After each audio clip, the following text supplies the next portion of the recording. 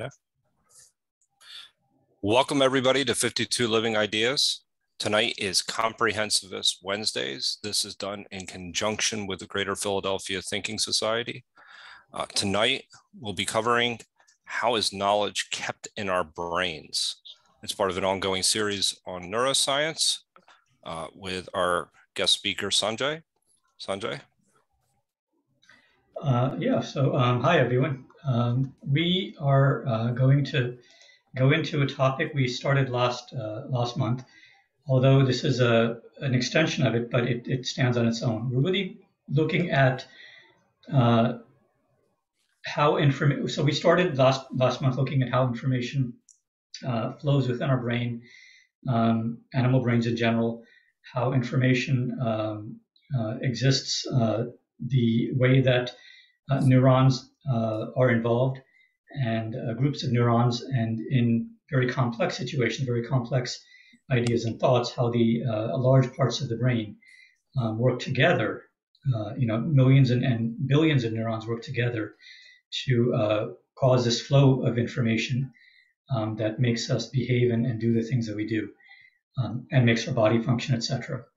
So one of the things we um, didn't go into last month that I would like to go into this week, uh, today um, is how the information is actually uh, maintained, how it's stored within our brain, how it's maintained, um, the the characteristics of the information that uh, is there, um, and uh, you know basically aspects around uh, what is um, you know what what happens uh, when uh, we have thoughts and we have emotions in our brain, and how these are uh, uh, how our brain represents very simple to very complex. Although we won't go into the complex, that's that's I mean we don't really understand it right now. Um, we understand we're starting to understand the beginning aspects of this. So we'll go into these things. Let me start um, my slideshow. Um, that's I find it an easy way. So hopefully everyone can see this. Um, last week we had a problem with the um, um, there's a host tab. So I don't know, Joe, if, if that's still visible or if that kind of goes away. Anyway, I don't. Um, uh, it is actually uh, no, it's not. I don't see. It's hard to see um, with the background that you have on top. I don't know if it's cutting it off or not. Okay. All right. So I will um, go into. Uh, so we'll start with the no, same fine. question. It's fine. Okay. It's fine. Thanks. So we'll start with, with the question that I asked last time. And this is very fundamental to uh, information in the brain and, and in general what we're talking about. So, how can information be stored in cellular tissue? And this is a question that I asked all participants last time. And if you were here last time, that's fine, that's good. Um, you were um, involved with it. But if you weren't, um, I want to just have a quick uh, Q&A type session. Basically, if, if anybody has an answer, that's fine. If you don't have an answer and you're curious about it, um, that is really why I'm asking this question because this is something very important to uh, to neuroscience in general. Um, and specifically, why it's important is because information is something intangible. You can't hold on to it. It's not uh, physical, right? It's invisible in a sense. Um, and cellular tissue is the opposite. It is tangible, it is physical, you can hold on to it. Um, so, how can something invisible and non physical be stored in physical tissue? Um, so, anybody have any ideas, any, any uh, clues?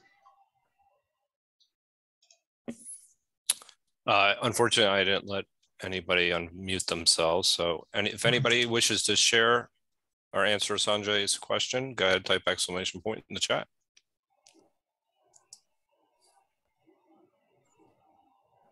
Go ahead, DLJ. Oh, good. I can unmute it. Um, yeah, I'll, I'll, have a crack at it. Um, actually, I, have not read about this, so this is just a guess. Is it the configuration?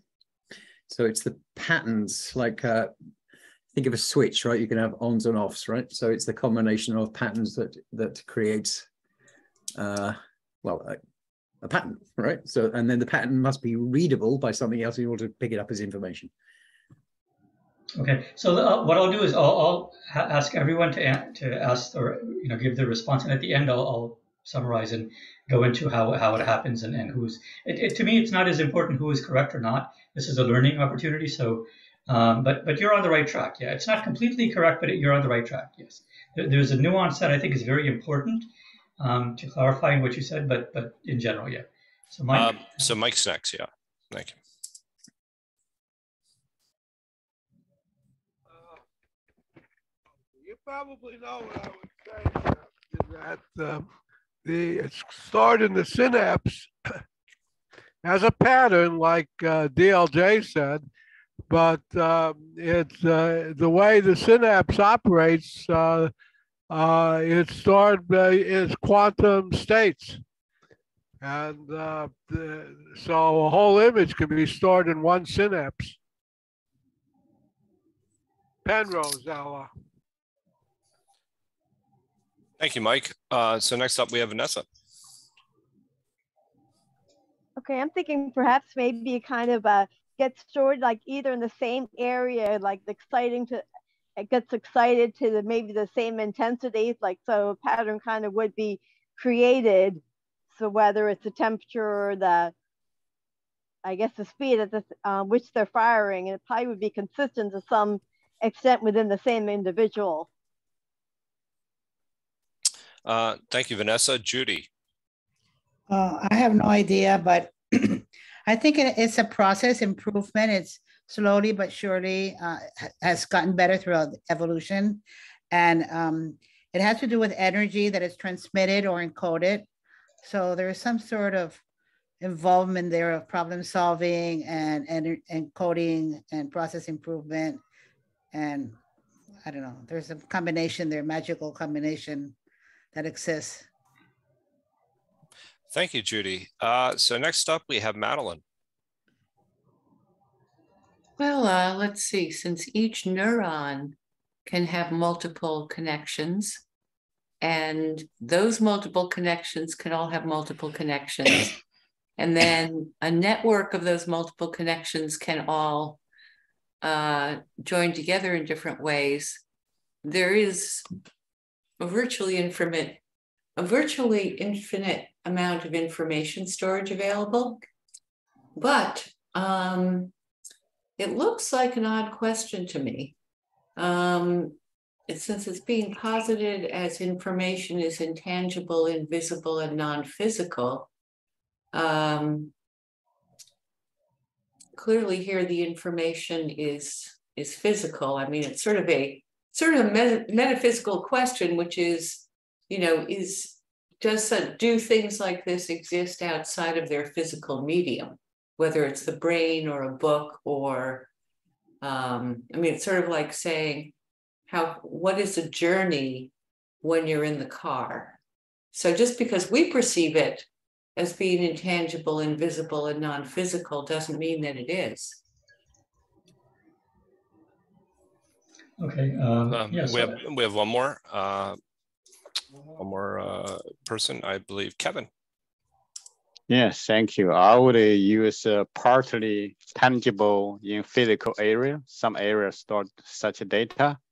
And uh, also it's uh, you can readable, but you, you, you maybe not in, intangible, but you can read. Readable, thank you. Okay. Okay, well, thank you, everyone, for your answers. Uh, go ahead, Sanjay.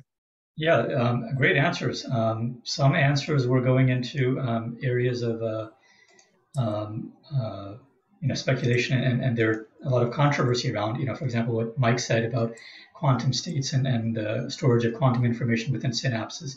But in general, um, everybody touched on aspects of it. Um, from what I heard, Marilyn was, uh, at least in my view, uh, she was portraying it the way that I think of it, that most neuroscientists think of it.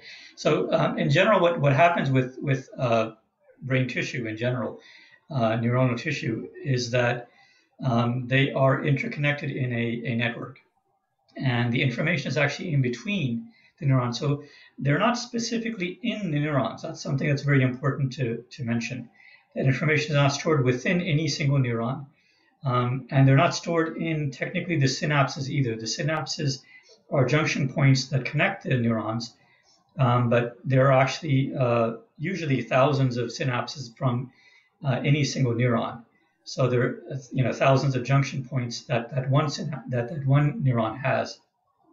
But that's the simple answer. There's actually a lot more layers to this, which I won't go into. But in general, the, the simple way of looking at this is that the network itself and the structure and topology of the network stores the information. And that kind of elucidates the, the, um, the perplexing aspect that uh, Madeline, uh, you know, talked about that, um, you know, how could you have uh, information stored in, in a physical structure because information is the physical structure. Well, what I'll, what I'll add to is that information is, is actually more than just the physical structure. The physical structure is what we can see, but um, and, and this is a part that I didn't go into last time because it is much more complicated. And even this time, I don't think I'll be able to go into it. Although one of the um, the uh, um, advanced videos that I've linked to, um, the fifth video, goes a little bit into that topic. And I don't want to go too much into it because it's it's much more advanced. It, it goes into dynamical systems. It goes into um, uh, time-related uh, behavior. So basically, a neuron over time behaves, and that's the aspect that I'm talking about. Is that out of those thousands of connections that it has, it's not that all of those connections or, or a subset of those connections are active and the other ones are not. It's that every second or every millisecond, basically, which neurons are which uh, neighboring neurons are active or activating or activated by this this uh, neuron we're looking at, and vice versa it's a very dynamic process um, for many seconds for a single neuron. And then so this cascading of signal, this, this movement of signal back and forth oftentimes is really where the information is stored. So it's, it's dynamical in nature. It's not just static. So time is an aspect of the storage of the information. That's something we're not going to go into because it is much more complicated. But in general, the, the structure of the matrix of the neurons in, in the brain um, is highly important. That's the main thing that's necessary to store um, anything that we have, any, any memory that we have, um, anything that we've learned, or even innate um, behaviors that we have. You know, for example, our our uh, basal brain, our, our, core brain, regulates our heart rhythm, um, regulates our breathing, metabolism, you know, temperature, etc. So those things are hardwired into our brain through evolution genetically, but those also are stored in the form of memory, and, and even those um, come into play. So what I'd like to do is, is go into specific um, processes that um, require information. And um, so sensation, perception, experience, these are things that we, um, uh, through the physical world, we bring into our brain. Memory, memory is something that we, once we've, we've experienced something in the external world, um, or if we had a memory from our past, that memory can activate and, and create new memories and it can combine with what we're experiencing right now. So, so storage recall is actually an aspect of, of, called you know confusion delirium, which also affects memory. We're not going to go into that, but memory is, is pretty complicated. Um, cognitive activities, we, have talked you know numerous times about this. Um, when we understand something, when we're reacting to an event, when we're making a decision, um, when, when, we're trying to solve a problem, these are all aspects of cognitive uh, activities that we humans um, uh, perform and these all are major processes that our brain has to do. Uh, muscular activation, believe it or not, when we're moving, um, our brain, um, many parts of our brain get involved. It's not as simple as, as it may seem. Um, the information, the signals that flow from the single act of, of, let's say, our eye blinking or a single finger moving, you know, just, you know, s- simply, um, it actually involves back and forth uh, multiple times through many layers of the brain uh, primarily driven by the cerebellum, but but it, it, you know a large part of our brain is activated um, through in in, in uh, musculature. So that's and all of those signals are information. They're simpler than thoughts, but they are information. And then our core brain, I talked about respiration, you know, cardiovascular aspects. These aspects which keep us alive, keep keeps our body alive. These are all um, also dealing with information within our brain. So these are all things that are are um, examples of information um, that our brain needs to process. Uh, but the main ones that we deal with, uh, or that we'll do, deal with in the talk tonight, um, and in general, the one we're concerned about, are cognitive aspects, uh, aspects of memory, and then uh, perception, experience. These these things. The first three are, are, the important ones that we generally talk about. Although the other ones are just as important for for functioning, to, for us to do anything um, in the world. So types of information let's um, look at, so information exists within the brain.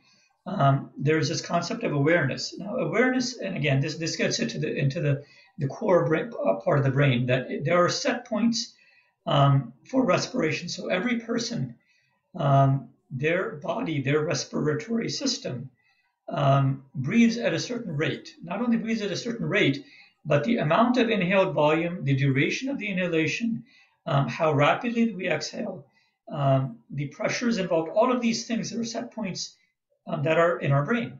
And our brain, and, and some of it uh, starts from in utero when we're in the womb and we possibly absorb it from our mother. We may absorb it from other ways.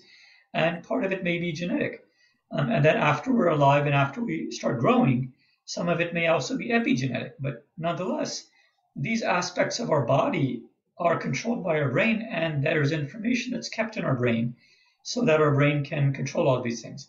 And what's important is that these are set points. And they're aspect of memory, so they're stored in our brain somewhere. Um, but there are set points that can change. And that's one of the reasons why, for example, when you have people who, um, you know, do, uh, let's say, um, they, they can train their mind um, through biofeedback or through, for example, yogis and, and, meditators who spend years doing it, they're able to, to control very, very um, innate aspects of their physiology, which is almost impossible for the average person to control. But because these there are set points that they have access to, they learn to access those, you know, over years. Um, you know, these are controlled by information that's variable in our brain. Um, and these are all kept in the brainstem. Another aspect of information, another type of information, are what we call emotions. And I've often said that emotions and thoughts are really indistinguishable in the brain, at least from, from looking outside, you know, looking at the brain from the outside um, it's almost impossible to tell the signals that are present, whether they're, they're involved in emotion or, or cognition, although sometimes or oftentimes emotion exists in specific areas of the brain. So that sometimes gives us a hint, but other than that, it's very difficult to tell.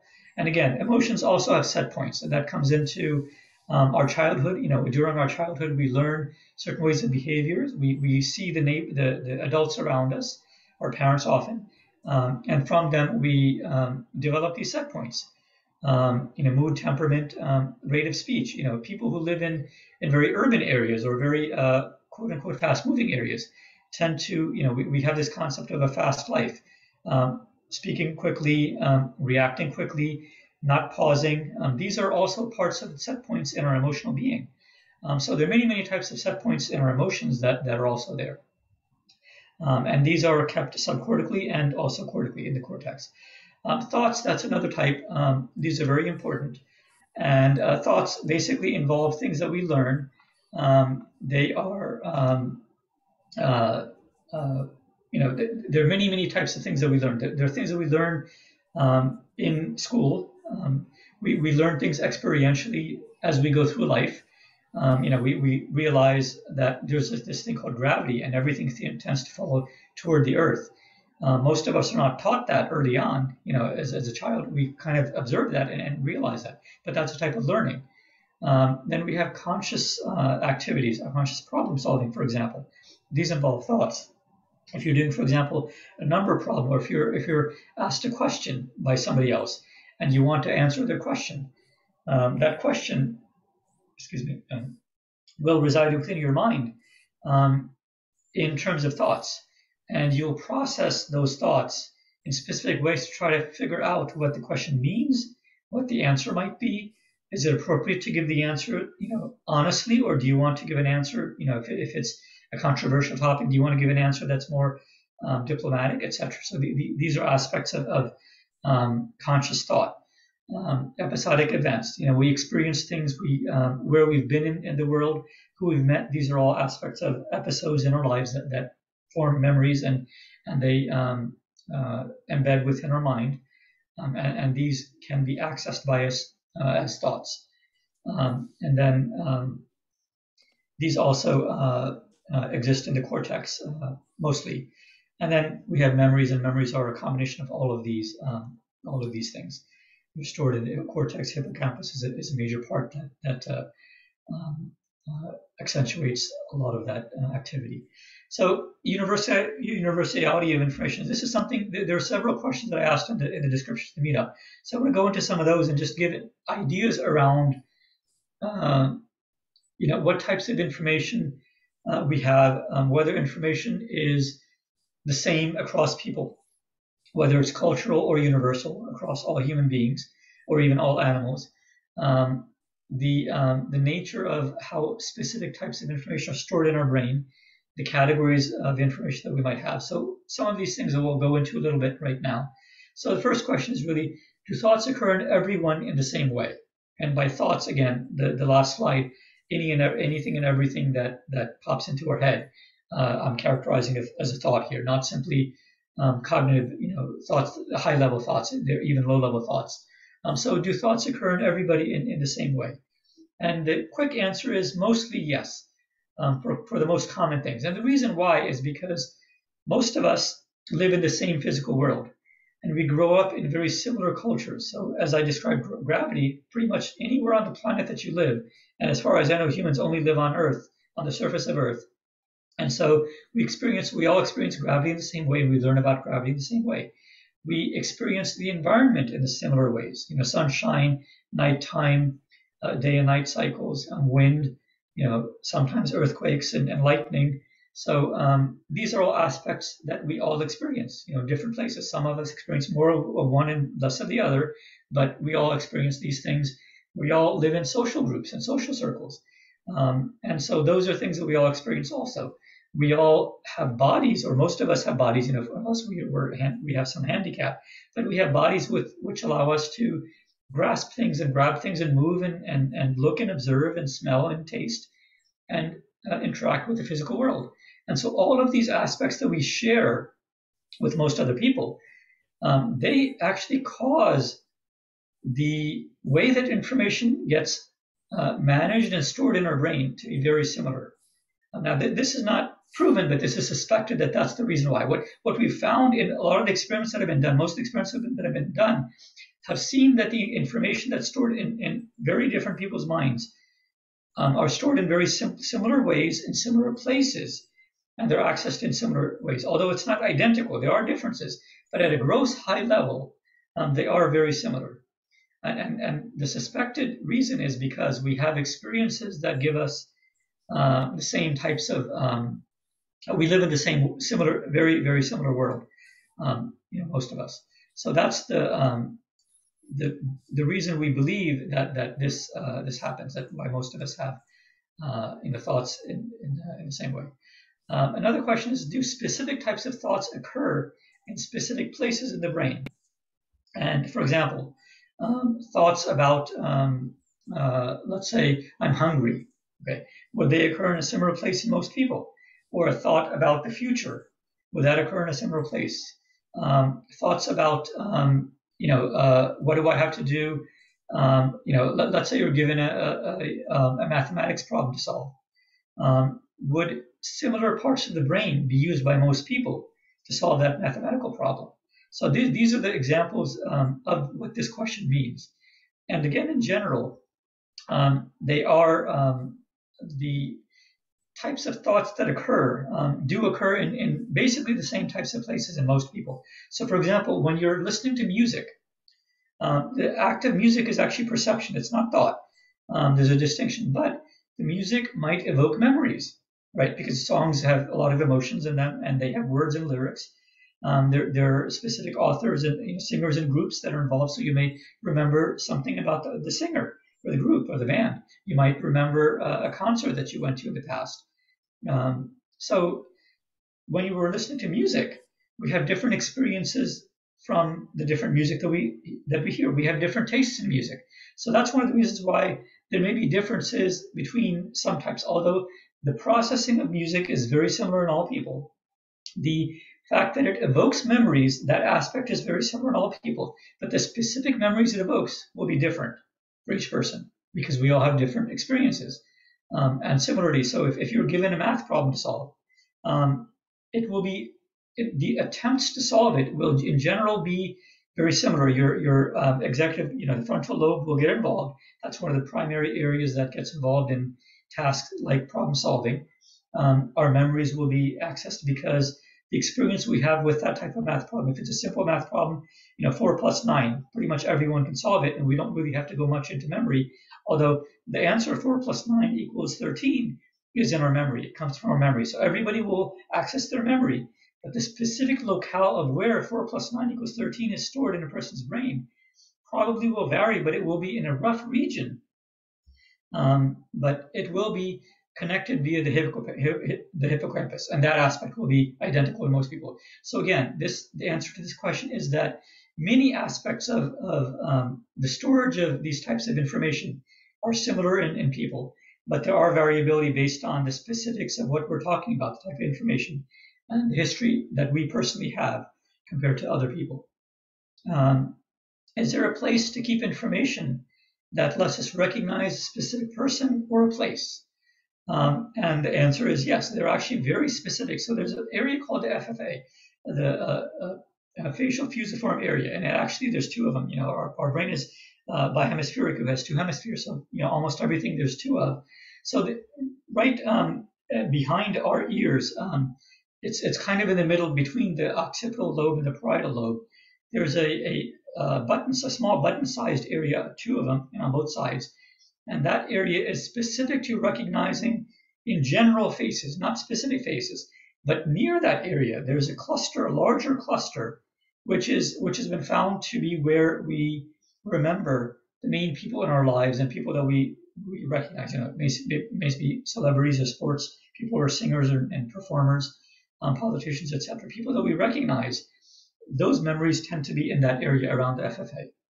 Um, as far as places that we've been to, there seem to be cells um, which uh, are known as place cells, though I'm going to give a caveat here. It's, it's not necessarily that there might be place cells. It might be actually a little more, little more complicated. It might be that there are specific cells that are part of a small cluster, a small network. So it might be, let's say, within a thousand or within a million cells. There might be a few hundred cells that are specific cells that encode the spatial information. And today we call them space, or some researchers call them place cells. But it might not be that those cells specifically encode spatial information. It might be that those cells require that small network that they operate with. And it's that network that actually gives this characteristic of remembering the places. It might not be that these cells themselves are that important. It might be, again, that the network is much more important than these individual cells. But right now, we're not sure if there's specific cells that are important or if that subnetwork, that, that small network I described, if that's what actually causes us to remember specific places that we've been to in the past. Um, another example, another question is how does our brain encode, let's say, the taste of a crunchy apple uh, versus apple juice versus a radish? Um, so in this example, apples and apple juice have very similar tastes and very similar uh, uh, odors, although their textures are very different. Um, apple juice is, is fluid, and and an apple is crunchy, it's tactile. Um, we have to chew it, um, and radish is different in all senses. And and so what what this does is that we actually have we we um, and this I pose this question specifically to kind of transition into the next area because the way that we encode information about the brain is very specific to the world that we live in and the types of things that we do in the world. And one of the things that the, one of the reasons why this this question is very important is because this question highlights a key aspect of our brain is that we we're animals, even though we consider ourselves fairly advanced animals. We are animals um, at, at every level, and all animals operate at a very basic, very primitive level when it comes to the types of things we're talking about about information, how information is stored. And this aspect um, shows it because almost everything, well, not almost everything that we know of so far, everything that we store in our brain is stored from the perspective of us as a as a selfish animal. Okay, so think of it this way: that if you if you ask a question, um, where is that apple? Okay, the answer inside our brain will be relative to me. Where is that apple relative to me? Okay. Um, so the answer to how does the brain encode the taste of a crunchy apple? It will encode that crunchy apple in the context of me, meaning I am eating the crunchy apple, therefore my mouth, my mouth is a very important part of the encoding of that crunchy apple. And when I'm drinking apple juice, my mouth and my throat and my stomach, all of those are aspects of drinking. And so those will also be encoded with apple juice. So the difference between the encoding of apple and apple juice will be the physical parts of our body that are tied to those elements. This is very important to understand that our body and how our body fits in and works with the world is a part of the encoding of, of things that we know about. Um, so, for example, if um, if we have a um, a car, right? Well, we sit in a car, and a car represents a form of shelter to us because it prevents it protects us from rain, for example, right? When we're in a car, you know, the rain won't hit us if, as long as it's not a, a you know a, a, a, convertible or the windows aren't open. You know, most cars will protect you from rain. Um, and so, at the primitive level, our mind thinks of a car as an enclosure. At the simplest, simplest level, it thinks of it as an enclosure. So the car will also be kept in our memory memory as an enclosure and other things also. So getting back to this question, a crunchy apple, there will be an area of our brain which encodes which encodes the concept of an apple. And it will be a very generic concept of an apple, not a specific apple. And then just the way that, that in our English language and many languages, we have things like nouns and we have uh, adjectives and we have adverbs, etc. Our brain also has associated clusters around the main. So the main idea of the apple is this object, this thing, this physical object in the world called an apple. So when we, the encoding of an apple in our brain will involve that cluster which encodes apple. It might encode other things, other types of apples that we're familiar with, the McIntosh apple, Granny Smith, um, you know, many, many other, the colors of apples, right? Apples tend to be green and white and, and yellow. sorry, not white, green and red and, and, and yellow. So those colors will also be encoded with the concept of an apple when we think of an apple, we might actually have a, an image that comes to our mind of an apple. And the image usually will be one color. It might be a red apple or a green apple. Some people can have more than one image. Um, but these images also are not the main um, encoder of apple, but they're associated information that also activates. So when we hear the word apple, what will happen is that the sound of the apple, or, or in this example, when we taste the crunchy taste of an apple, let's say our eyes are blindfolded and somebody gives us, you know, puts puts a crunchy apple in our mouth and we chew on it and we start to taste it. And we start to realize it tastes like an apple. We don't know before that because we're blindfolded and we, you know, we, we've been given a spoon of an apple and we start chewing on it. The first thing that will form in our mind is that the flavors will go into our uh, um, uh, gustatory uh, sensors and our, um, uh, uh, sorry, um, the um, uh, I'm having a blank right now. Sorry, but but the um, the area of our brain which perceives um, odors um, that that that the, we will smell and we will taste the apple both together, and um, that will be the first thing that happens. And when those two things happen, they, that information will transmit into various parts of our brain and then our memory will get activated. And that memory will immediately fire off that cluster, that main cluster, which encodes Apple. Okay. And then we'll realize, then we'll have a realization, we'll, we'll have a conscious realization that we have an apple in our mouth. Okay. And when we're drinking apple juice, something similar will happen that it won't be crunchy, it'll be fluidic, but we'll have an immediate realization that it's apple flavored. Now, because our eyes are blindfolded, we might also have another uh, another um, you know question pop up that is it an apple or is it the flavor of an apple? It might be, let's say, candy that's flavored like an apple. It might not be physically an apple. So you know we might have a question mark tied to it because our eyes are blindfolded. Um, and, and if it's a radish, then it won't it won't uh, activate the area of our brain which encodes uh, apple. It'll activate a different area which encodes a radish. You know, assuming that we're very familiar with the taste of a radish. Um, and so as soon as we have this flavor of an apple and the, the activation of an apple, then that main activation may usually in most people it starts to activate other associated regions. For example, we might it, it, it might activate a memory of an apple. You know, maybe apples is, is one of our favorite fruits. So to evoke a positive feeling. So our emotions will come into play. Or if, uh, if you really don't like the flavor of apples, then negative emotions might come into play. So that main feeling of that main um, activation of an apple will cause other areas of our brain to activate. And those other areas of our brain, if they're activated highly, they may cause other areas, and there's a cascading effect. And then more areas of our brain activate. And then we have the full experience of chewing and eating an apple. But, but also, one of the things that happens is that at that time, another area of our brain will be activated, which is our mouth and our tongue. The, our, our brain actually has a somatosensory uh, area and also a um, uh, uh, um, area which uh, controls our musculature.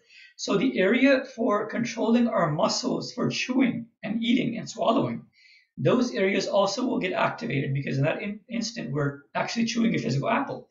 And because and, and we also have sensation coming from our tongue and from our nose. So this, those areas will also be activated.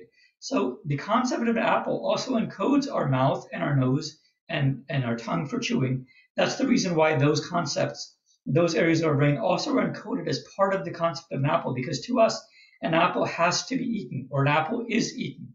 That's the way to think of it. And, and apple juice is drunk, is, is drunk, which means that we don't chew apple juice, we swallow apple juice. So, so similar concept, but slightly different muscles and slightly different areas of somatosensory area that I described will be associated with juice versus a versus a solid fruit, and radish likewise. So this this question really starts to get us into the areas of how information is encoded within our brain, um, and the fact that information is very personal to us. That we we at our core, at our simplest level, are very selfish beings. You know, Freud talked about having an id, right? And id is the simplest level in his theory. In his theory, the id was the simplest, almost like a spoiled brat, right? And in a sense, this aspect of our brain actually follows that same pattern in that we think of everything in the world from the perspective of me. My apple goes into my mouth. That's the way our brain thinks of it. Right? Um, and and uh, apple is actually um, encoded in uh, the olfactory bulb um, and and uh, the gustatory uh, complexes, which are tied to that. They're, they're very work in similar fashion. The hippocampus, which brings in the memories of, of eating the apple or the radish, and the cortex, which goes into the processing and, and more uh, complicated memories that, that, come into play. So um, these, uh, so here's one more question which I asked in the, the meetup, but this had, was a multi-part question, and, and we'll go into uh, just some of this. So the concept of, of, does everybody have a dog region of the brain? So we talked about apple region, and similarly, does everybody have a dog region of the brain, which encodes the notion of a canine or a dog? And the simple answer is yes, um, as long as you've experienced a dog in your life, you know, usually multiple times. Um, mostly, um, if, if you have experienced a dog, um, for example, you might live on a, on a very small rural island which doesn't have any canines on there and doesn't have any wolves or doesn't have any related uh, species. Then, if you have not experienced them, then the first time you see a dog, you would not have a brain region that encodes for dog. Um, but you might, but you have other regions for other animals. So what might happen is that because you don't recognize this funny-looking creature, you might think it's part um, part jackal, and it's part cat, or part uh, part uh, uh, um, che- cheetah, and a, and a, part horse, because it, it's kind of a miniature horse in one sense, um, it might look like a jackal to you, and it might even look like a like a, a, a leopard or something. You know? So the the region for a leopard and the region for a horse might be dimly um, activated in a person who's never seen a dog before, but they see a dog for the first time.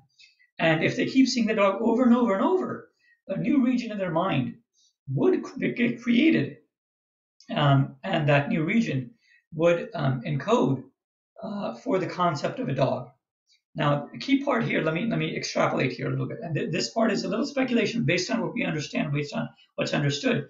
I'm going to, I, I think this is more or less correct, is that in this hypothetical example where a person has never experienced a dog before, okay, and that's, as we know, that's not the normal situation because most people on the planet, dogs are very common or almost everywhere in the world. Um, there are some areas where dogs are, are rare, although they are known. And so most children, when they grow up, they are taught the concept of dog. So dog, dogs are one of the first animals that we learn about. And that's one of the reasons why, for most of us, dogs are encoded primitively because it's one of the earlier animals that we learned about. um, and many people have pets as dogs, uh, dogs as pets. So, so that's another reason why dogs are very, um, they're encoded very er- at an early point in our brain.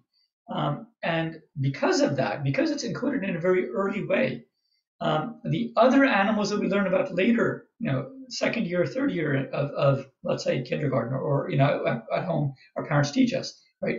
A few months down the road, we might be taught of a different animal that we've that we didn't know about. Well, what happens is that the encoding of the dog helps, or the region of the brain where that the concept of dog is encoded, that helps us learn the concept of a new animal. And what happens is that new animal gets encoded somewhere nearby the concept of dog. And where nearby depends on which animal it is. So, for example, if it's, let's say, a bunny rabbit, bunny rabbits have long ears, right? And bunny rabbits tend to hop. And bunny rabbits are much more furry, and bunny rabbits are much more smaller. So, if you think about the region for where dog is encoded, and in the three dimensional space of the brain, if you find a spot where, you know, long ears and tiny and furry and hopping the intersection of those four, you know, just for example, those four ideas, the intersection of that near the area where a dog is encoded, that is probably the area where the area where you'll have a new region for where you encode when you're as a child when you're learning about a bunny rabbit for the first time. That's probably the area where the cluster of cells that start to encode for a bunniness, that's where it would probably start to form.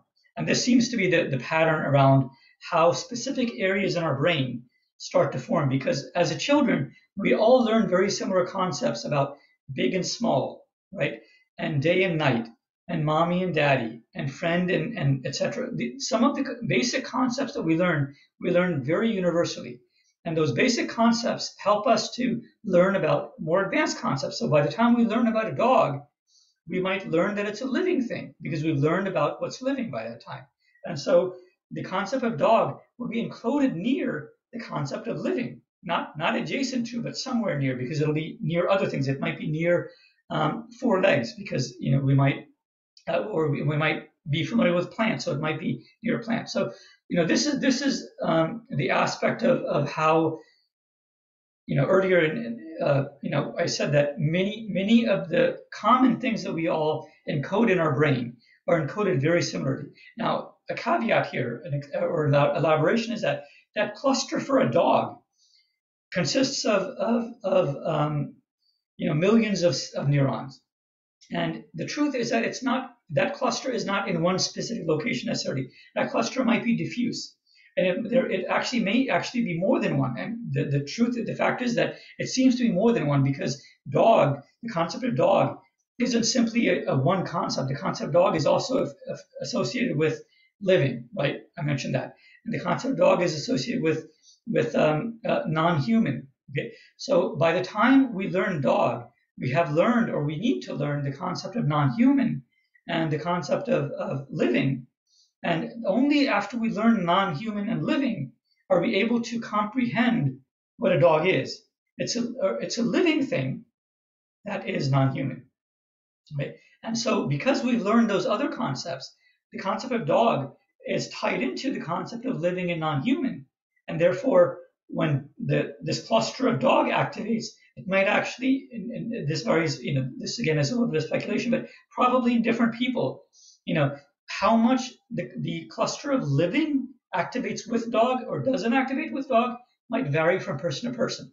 Because some people might think of a dog as completely living, and other people might not think of the living aspect of a dog. They, they know dogs are living, but when they think of a dog, they're not really conscious of the fact that it's living. So this association between living and dog, that's what I'm talking about, is that that's that that's another example of how there's variability when we, you know, when we have this region or regions of, of clusters that, that encode dogness, there's variability from person to person. And also just the core core cluster of dog, you know, let's say a million or a few million um, neurons, that is not going to be in the exact same location. It's going to be, you know, within within, you know, several million neurons this way and that way. But it's if you look at it on a gross map of the brain, it will be roughly in the same area from person to person to person. That that we've seen um, and in MRI scans, they, they tend to be in a rough, hazy area that's similar to um, for most people.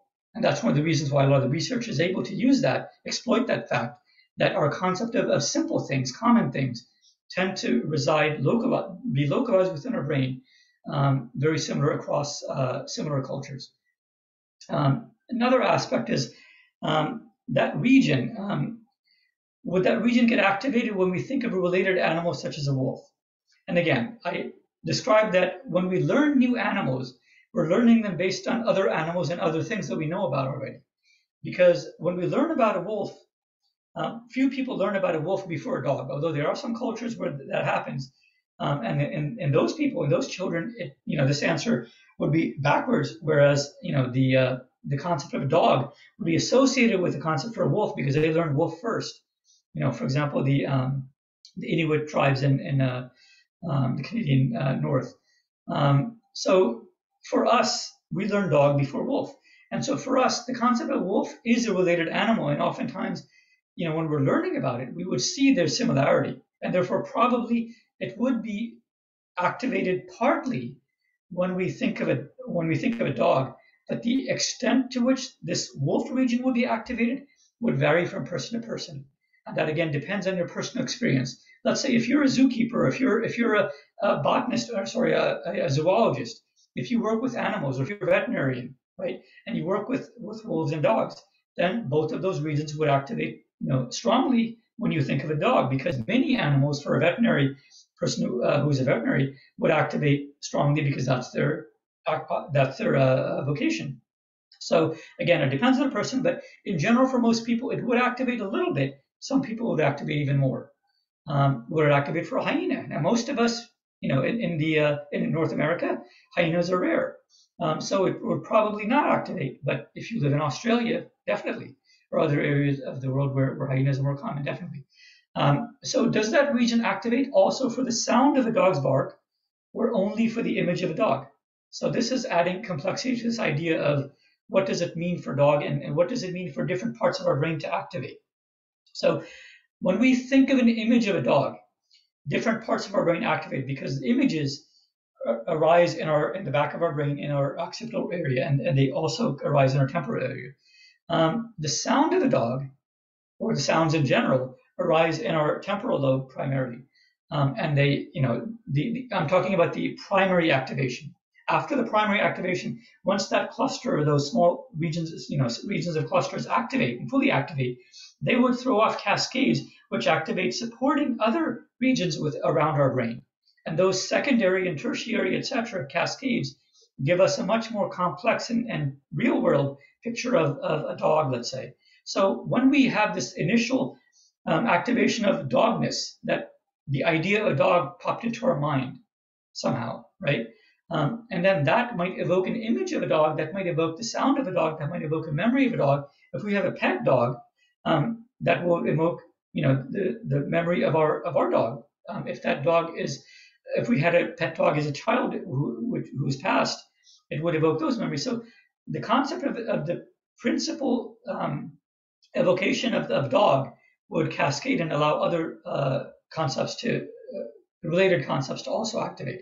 So the answer to whether that region also activates the sound of a dog or the image of a dog would depend on the context, what you're doing. For example, if your brain, if your mind is busy, let's say you're driving in the middle of a, of, of a busy uh, uh, city and you're having conversation with a passenger in the car, right?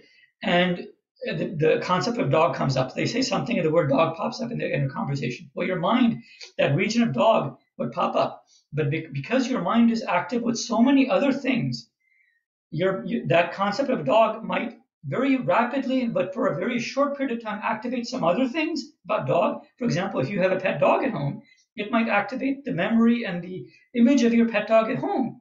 But it might be for a very transient milliseconds or a second and it might be for such a short duration that you're not even you don't, you're not even aware. This is what we call subconscious activation. That things in our subconscious come to mind.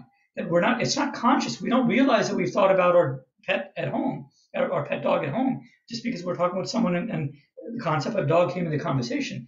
But for a fleeting few seconds or a few milliseconds or even a second, um, the more full version of, of our pet dog might fill our brain, but then it'll it'll extinguish very quickly because we're we're in a very dynamic situation. We're driving on the road, we need to pay attention, and we're involved in a conversation. So in that example, the concept of a dog would be very restricted because our brain is busy with so many other things, and and obviously it's our safety is involved when we're driving a car. So our our focus and attention would make sure that that concept of dog doesn't expand. But if we're sitting alone at home and and either doing nothing or daydreaming, or if we're reading a book and the concept of dog comes up in the story, that might actually cause us to daydream and wander and think about all kinds of other things because there's no nothing else preventing our brain from doing that. Our brain is basically open to any experience and expansion of experience that it normally is capable of. So these are uh, you know explanations around this this concept of the universality of how are these um, you know ideas and and uh, notions of the physical world and, and uh, you know ideas that we have, thoughts that we have, um, exist in, in, in, the world. Um, so um, this around um, so so this sorry I, I, wasn't keeping up with with the slide, but but basically in the right side I'm just adding uh, clarification for um, each of these questions, and I you know had already enunciated so um, they should match what what I explained earlier. Um, so um, the next uh, idea I want to go into is uh, some simple examples of information and thoughts. So, for example, a person. A person is a thought, okay? Um, but it's it's a specific type of thought. It's a, it's a person with with whom we have a relationship. So the thought may the thought that comes to mind when we think of a specific person, um, your friend or or or uh, you know dad or, or or you know an old teacher from from uh, school or something um, it, it the thought might come around aspects of them, of their behavior. They were a funny person that might come to mind, or details about your relationship, how long you knew them, whether you like them or not, um, you know, uh, what happened, are they still living, where are they? It might evoke all kinds of memories about that person. So the thought of that person can again expand into much many other thoughts, but um, these are the types of things that that constitute um, thoughts and information about a person right? Um, how uh, you know uh, how they make us feel, you know, the history that we have with that person. Another example of information thought are specific objects, such as a pencil, a tree, or a person. A person we have relationships with, but a person theoretically is an object in the world. Um, we normally don't think of them as objects, but you know they are. They're, they're, they're physical beings who exist. Um, so all of these things are tangible. Um, so the thoughts around objects might um, might uh, uh, correspond to the tangibility of them. You know, the fact that they are physical in the world. Um, they might uh, the thought might also be associated with whether I have one of those things or not. Do I have a tree or do I have a pencil or do I have more than one pencils? Um, if it's living or not. Well, a pencil is not living. A tree is living. Um, did I have a pencil in my past? Did I have a tree in my past? So many, many types of things, you know, many types of thoughts can arise around objects. These are just some examples. Um, and other examples are emotions and feelings. Um, so, for example, the experiences that we've had in, in the past and feelings that we've had in the past around um, situations, people. Um, uh, uh, do you feel that uh, emotion right now? Are you feeling it right now or not? Usually you're not, um, but sometimes you might be um, is that emotion positive or negative for you? So do you want to get, you know, remove it from your mind or not? So these are all aspects of the information that is present in our in our mind at any given time. So um, let, actually, at this point, let me let me take a pause and and um, if anybody has any questions, um, let's do that. Um, yeah, folks, actually, uh, uh, why don't you stop sharing the screen there for a moment, uh, Sanjay, yeah. and then. Uh, Folks, go ahead and type exclamation point in the chat if you have any questions. Uh, you don't want to do breakout rooms, do you? Uh, I don't think we need it this time. Yeah. Okay. Um, so uh, go ahead, uh, DLJ.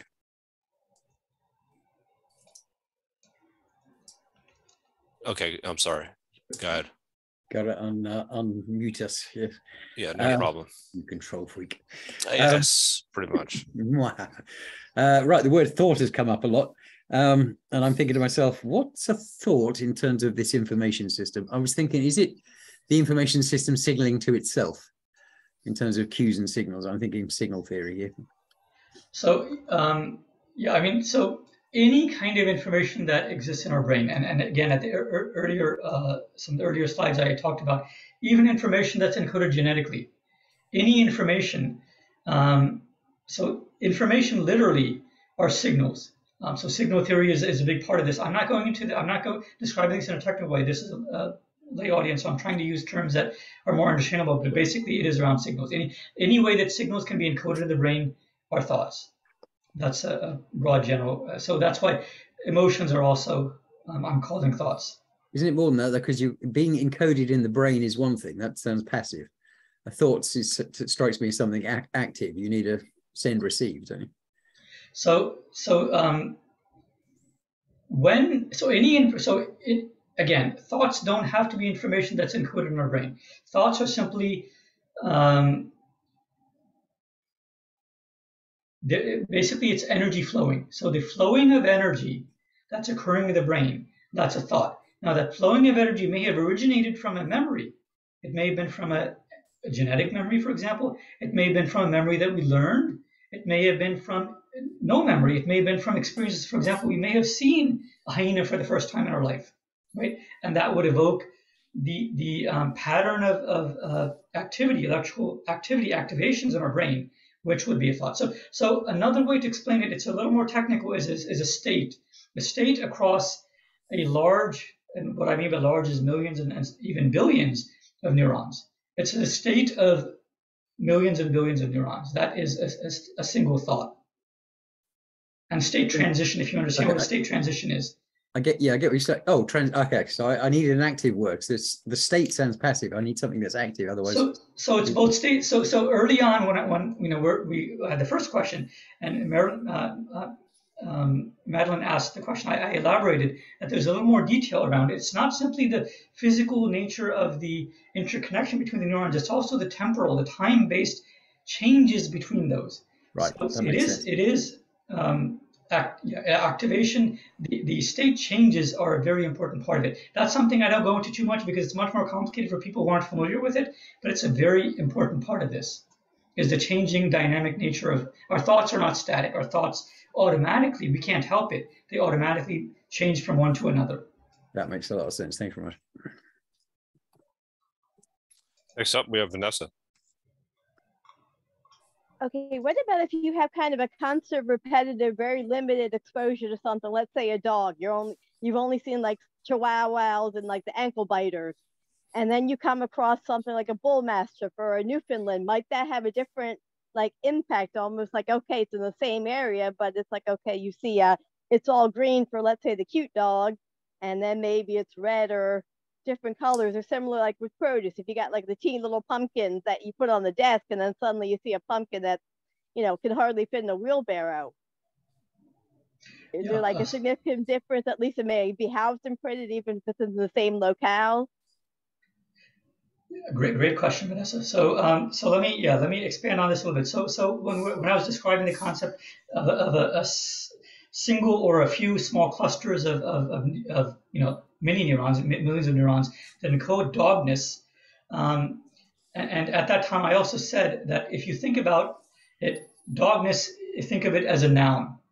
And then we also, in our languages, we have concepts of, of adjectives and adverbs. So our brain also encodes in a similar way. So the main concept of a dog would be dog.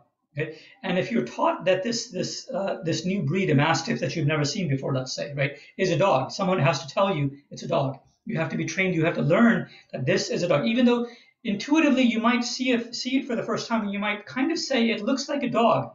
Ultimately, you're guessing at up to that point until someone tells you it is a dog. And once someone tells you it is a dog, that's when the actual learning starts to happen. And that's when you start to add these adjectives around this specific type of new dog. Um, and the adjectives might be um, the extent of, of furriness that it has. So, for example, some dogs don't have fur or they don't shed. So around the concept of a dog, there are many, many adjectives and adverbs that we encode.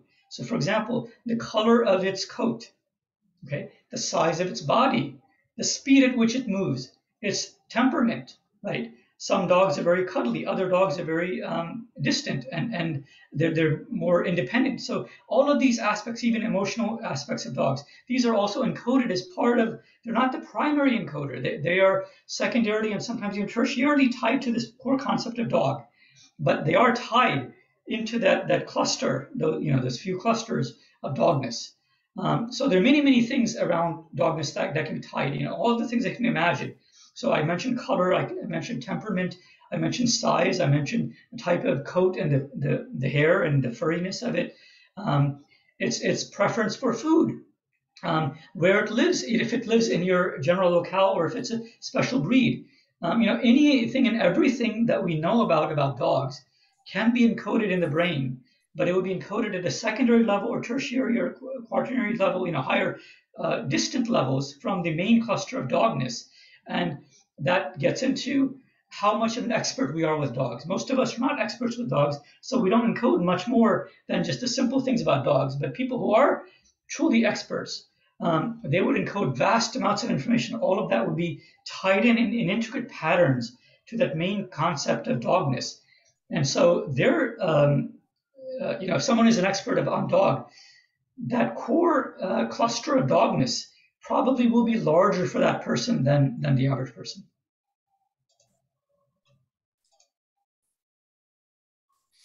Uh, do we have anybody else that would like to ask a question? If not, I can go ahead. I just saw a comment from uh, which made me chuckle in the chat. It's always good to meditate on. I'm always, in, you know, one of the things that I'm most interested in is that if they're able to identify a thought or you know these ideas of dogness and everything, how does this relate to behavior? Like, eh, eh, how does it manifest like itself? How do we relate thoughts to behavior? That's what I'm kind of interested in. Are you going to talk about that a little bit? Um, so yeah, so we will get into a little bit of that. Um, so, I mean, they, they can we can measure gross thoughts, gross uh, gross uh, simple thoughts, objects, for example, can be measured. Um, there are other types of thoughts that we can um, uh, uh, you know, we, we, we, are starting to learn about. There are many types of experiments that are still ongoing. So um, the interactions between these thoughts are an area of very complex research, which is much more difficult, um, especially when we're dealing with emotions, because emotions tend to be much more fast moving in a sense, um, and they change much more rapidly.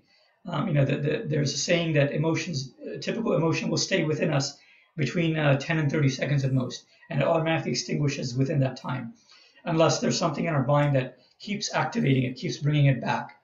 Um, and that's you know that's an area of psychology, but you know that that's an aspect that we see in the neuroscience that a lot of these thoughts automatically die down. This is you know we talked about the temporal aspect of thoughts that the dynamic nature that thoughts are um, the state change from one uh, thought state to the next is a constant uh, occurrence. So um, when we're talking about the um, the way that thoughts transition and how uh, the dynamics nature of how people think and behave in the world, uh, we move from thoughts that pertain to the physical world around us, while simultaneously we also have thoughts about our inner world and the interplay between our inner world thoughts. For example, what did I, what do I have to do, um, you know, in a couple of hours today? Right, that's part of our inner world and something that I'm planning to do in a couple of days, or something that may be happening at work, or there may be a relationship that I'm in that has some issues, um, or, or some specifics. And all of these things are part of our inner world, and they're always in our mind. And the things that we're interacting with at any given time, any given instant, that's part of our uh, the moment that we're living in. And they they interact, they they play together, and they affect each other back and forth. So if our inner world is very rich and complex, we have many, many things going on in our lives. And the people that we're interacting with right now, um, we uh, see and, and experience and talk with.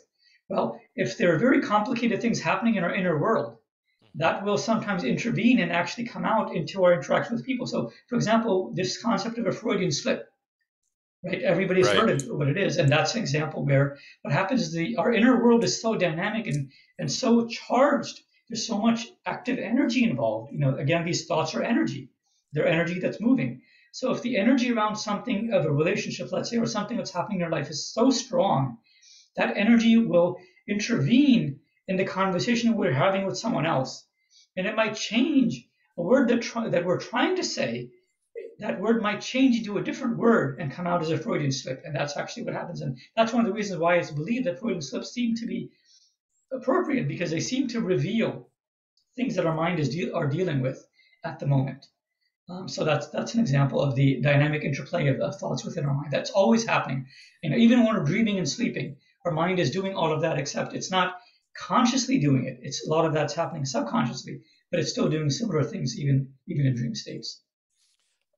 Just uh, one really quick question because I thought it was fascinating to see in one of the videos is this idea when we were talking about, and the reason I brought up behavior is one of the things is uh, they thought that they could actually capture things, not only thoughts, but like things like hypocrisy, you know, that things along those lines. So yeah. that, you know, how do you, how do, that's something that is a behavior, but they're saying they're, they can isolate the thoughts that are associated with that behavior. Right. So one of the things that, that um, in, in the video, if you remember, what they talked about is that hypocrisy and certain types of more complex emotions are a little less exact in how we can measure them right now. I mean, maybe in the future we'll be able to measure them better, but um, right now they're not as uh, not as exact and, and they're not as precise.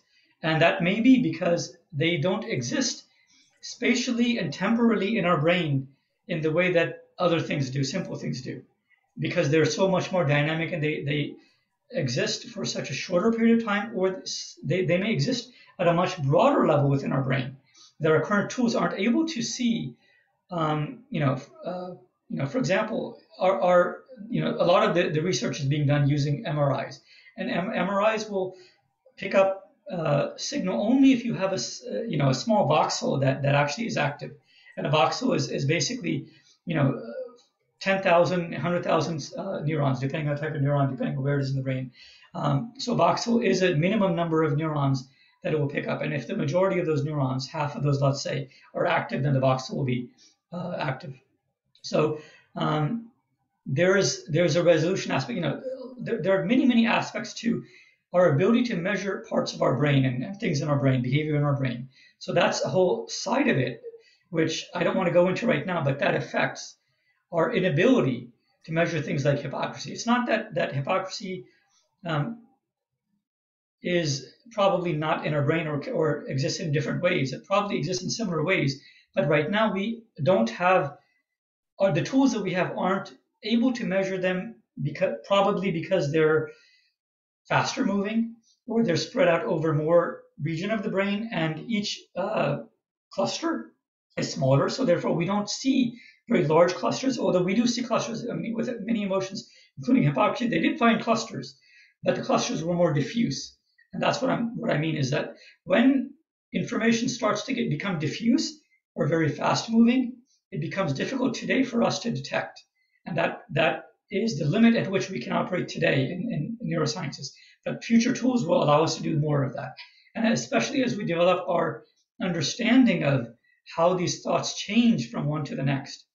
Um, and we start, and, and the models that we have of thoughts become dynamic. Right now, a lot of the models aren't dynamics. For example, all the videos that we that I posted, most of the research still talk about them as if they're static. The concept of a hammer is static. The reality is, when the person was sitting in an MRI and they were told to, to think of a hammer, right? They thought of a hammer, but that hammer eventually disappeared from their mind, and they didn't have to force it out. It automatically disappears because our thoughts automatically disappear from us. It, it, this is the nature of our mind. Um, and and but but the researchers never said that they know that this happens. And that's one of the aspects around this is that we know that this is the nature of our mind, that it is not uh, static, it is temporal, and it, it's fleeting. You know, many thoughts are fleeting, most thoughts are fleeting. Um, but researchers, when we communicate, and we the models that we have, the scientific models, don't capture the full extent of that yet. I mean, we understand it thinking-wise, but the mathematical communications that we have around it don't capture that fully. Thank you. Uh, DLJ has one more question, and well, I guess we'll get back to the presentations. Sure. Yeah, thanks. Um, okay, so I'm getting the idea of the learning set. So you, there was a comment on one of the slides about you got to have an awareness or some exposure to dog to be able to then see dog or pattern or colors of dogs and so on. Um, does that rule out you well, you've got eureka moments, right? Which presumably are sudden realization of combinations of thoughts. But does that completely rule out innovation, as in from nowhere? Hmm.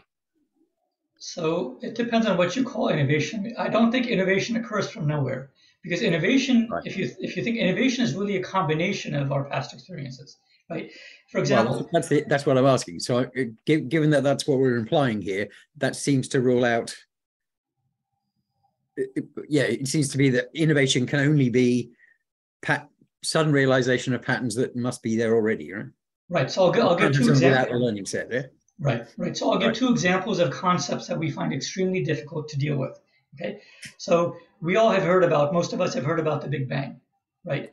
But the concept of that time did not exist before the Big Bang, right? That concept of time not existing is outside the realm of our ability to understand. It's it's most of us, none of us, you know, the the the, the best scientists also admit this. It's we we cannot fathom what it means for time not to exist. And, and that's, you know, by nature because we only, we have only lived in time. We have only lived in the flowing fluid nature of time. We can't imagine if time, uh, I mean, we can imagine time moving backward, for example. We can imagine time moving more slowly, but we cannot imagine where time doesn't exist. Or the only way that we can imagine time is a freeze frame, right? Everything's frozen in time. That's the only concept we can have of, of, of timelessness. But that's not what, you know, pre-Big Bang is. It's not about timelessness. It's about the concept of time didn't exist, which is different from time frozen. And that concept is not possible for you. Another example is thinking or imagining something as a seven or eight dimensional figure. We cannot do it, right? Because it is not in our realm. Our brain has never seen a seven dimensional or eight dimensional figure, and therefore we cannot imagine it. We cannot deal with that. It's just blah, it just goes away. Nobody can, and that's the reason why. Those, those are the concepts I'm talking about. And that's the reason why when we talk about imagination creativity, that's a real thing, but it's based on only those things that we've already experienced. And that's the reason why the newer concepts, the novel concepts, the eureka moments are, you can always tie a thread to something from your past that is related to it. Great question, yeah. So let, us uh, go back to the, the slides we have some more. Um, are we sure time didn't exist? So, well, we don't know, that but I'm not going to go into, into that. I mean, we don't know exactly what happened before the Big Bang, but the concept is that um, we, uh, you know, we don't know how to expound on this notion of no timeless, you know, time doesn't exist. So um, let me, uh, so let me start. So we're actually transitioning into um, the question that Joe asked um, about uh, hypocrisy and the, I think not hypocr- yeah, hypocrisy. So there was a study that um, in uh, one of the videos uh, they talked about, and I just want to go a little bit more, more into that. Um, and so the uh, two researchers, uh, Marcel Just and Tom Mitchell, um, they, they, they're, they're very uh, strong researchers in this area. Are several others that are, are very good at this. There's a study they did in, I think, 2007 published 2008. And they, um, what they did is they they wanted to look at um, the uh, um, way that uh, specific thoughts are uh, occur in people's minds. People from all backgrounds, people from all um, uh, you know multilingual people with other languages, people from different age groups, but um, uh, so they took, uh, I, I, don't remember the exact number of people, but they took a, a, a cohort um, for the study and they gave them um, specific um, words to think about. And they, told, they told them to um, think about, imagine, uh, you know, people behaving in certain ways with them. Uh, and, and these there were keywords that they were told. And the keywords fell into four different categories either physical actions or symbolic actions, and either positive physical actions, negative physical actions, or positive symbolic actions or negative symbolic actions. And there were six of each, so there were 24 words in total. And when they did this, they had each of the subjects study participants in an MRI scanner, and they scanned their brains um, throughout this as they're imagining and, and, and uh, you know thinking about the, the, single word. They told them do a single word at a time. And there were other other things that they did in the study to, to the controls that are necessary to kind of clear the slate so that their mind is still at a, at a resting state, so that the one word doesn't interfere with the next word that comes to mind. Because if they're given one word, you don't want the next word to be um, you know interfered with. If, if, for example, if you give one word that's negative and the next word is positive, you, you don't want the effects of that neg- negative word to interfere with the positive word. So they did, did different things in the study, and these words were randomized, but they were also done in a certain pattern so that they could find any. Um, they removed a lot of the biases in the study. Um, you know, there's a, a, whole way of the experiments have to be designed appropriately. So in this study, um, what they did is they they looked at this and and across all of the subjects, what they found is that there were specific regions of the brain that encoded for these types of concepts, these types of thoughts or emotions. Um, and what they found is that most of these were encoded in very similar regions within the brain across most people, across most of the participants. And not all, but it was close enough. I think the percentage was around 60, 70%. Actually, this study was 70 to 80% for most people, which is for a study, like it's, it's fairly high.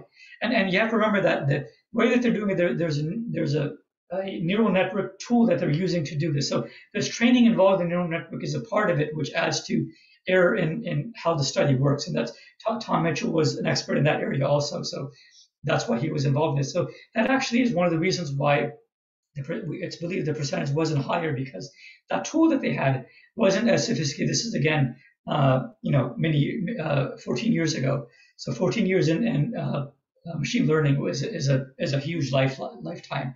The tools of machine learning at that time were not as developed as they are today.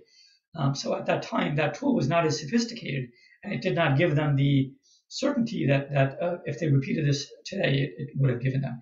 But still, for that time, in the 70 to 80 percent was, was very demonstrative. It showed. Now, what they also saw was that many of these thoughts and emotions, which were not very strong and very common, so for example, hypocrisy um, was found to be not as easy to um, find commonality between all the things, although there was enough. It wasn't like there was none. There was enough commonality. It wasn't as high as the others. Um, and other concepts like love. Love was something that was very strongly correlated across almost everybody. And again, we realize that because almost everybody has felt love. You know, as a child, we feel loved by people, you know, parents, caregivers, by our friends. Um, and so love is a universal feeling that we have visceral, we have very strong um, sensations around and concepts around. And therefore, you know, there was, but, but interestingly enough, the region where it was encoded was also very similar. And part of the region was probably because feelings like love are not simply um, intangible ideas. They actually are physically present because our, you know, we, we have experiences of our heart rate changing based on feelings of love and hate, right?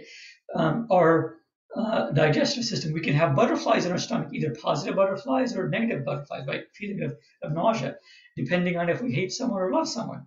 So our physical body actually changes sensation and states. But again, those sensations are changing in our brain. Partly in our body, we have neurons in our body also. But those neurons tied to our brain neurons together are changing our state, which gives us these sensations of a lot of these strong visceral emotions. So love is one of those emotions which is very visceral. And, pro- and, and the region where I, I don't remember exactly, I don't, I, the study didn't go into detail, but um, it's you know, my, my guess is that the region for where love was encoded is probably not that distant from where we include a lot of visceral sensations in our in our body because love is a very visceral sensation. And that may be now it may not it doesn't necessarily have to be physically in, in spatial proximity close to that region for visceral processing. But it does have to in terms of the network, in terms of the connections of the network, the connection has to be very close and very fast. That's the key point here. It doesn't have to be physically proximally um, adjacent, but it needs to be the, the signal between those visceral sensations and the sensation of love have to move between each other very rapidly, and it has to be a very um, wide bandwidth, meaning lots of information needs to be able to flow between these two regions. So that would tie them together. Again, it doesn't have to be physically proximately uh, you know, adjacent or close by, but the information, the um, amount of information, the speed at which information can flow between them has to be um, heightened. Um, so that's that's the idea. So the key idea here is that yes, all physical actions were found to be very very similar in most people, and symbolic actions also were found to be very similar in, in people. Um, so this is something that we talked about earlier. So there's another. So now I'm going to do an, uh, an example that I want to talk about. This is kind of going to, going to tie a lot of the ideas together with um, what we talked about and try to. But but so when we think of dogness, okay, and I'm using the same example. I'm sorry if, if someone doesn't like it, but this is this is what I have. Um, and um, so the idea of a dog might start off with with the concept of a dog being an animal Okay, and there might be, uh, and in this example, I, I have three different regions, but one of these is smaller than the other two. So it might be the concept of, of dogness actually starts with the first two regions, these large two regions. That's the main one that encodes dogness.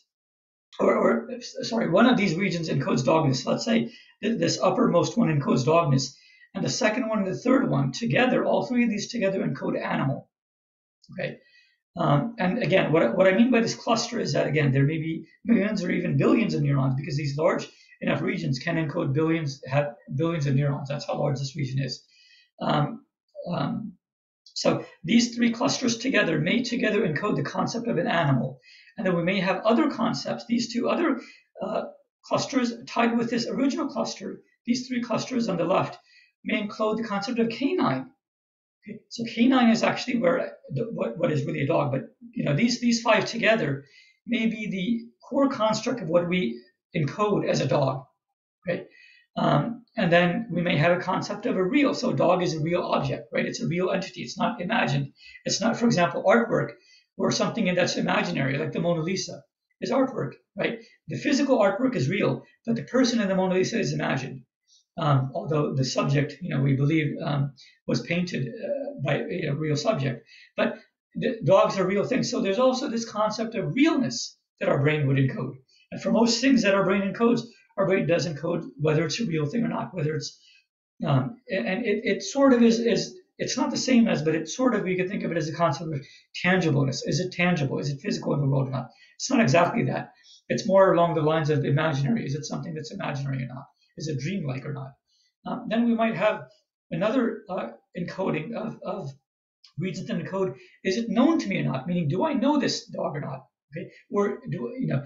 Remember that earlier at the beginning I said that everything in our brain, the types of things we're talking about, comes from a very selfish perspective. We're talking about the id, right? This this is an aspect that demonstrates that our brain at this level, at this primitive level of functioning, really treats the world as ours.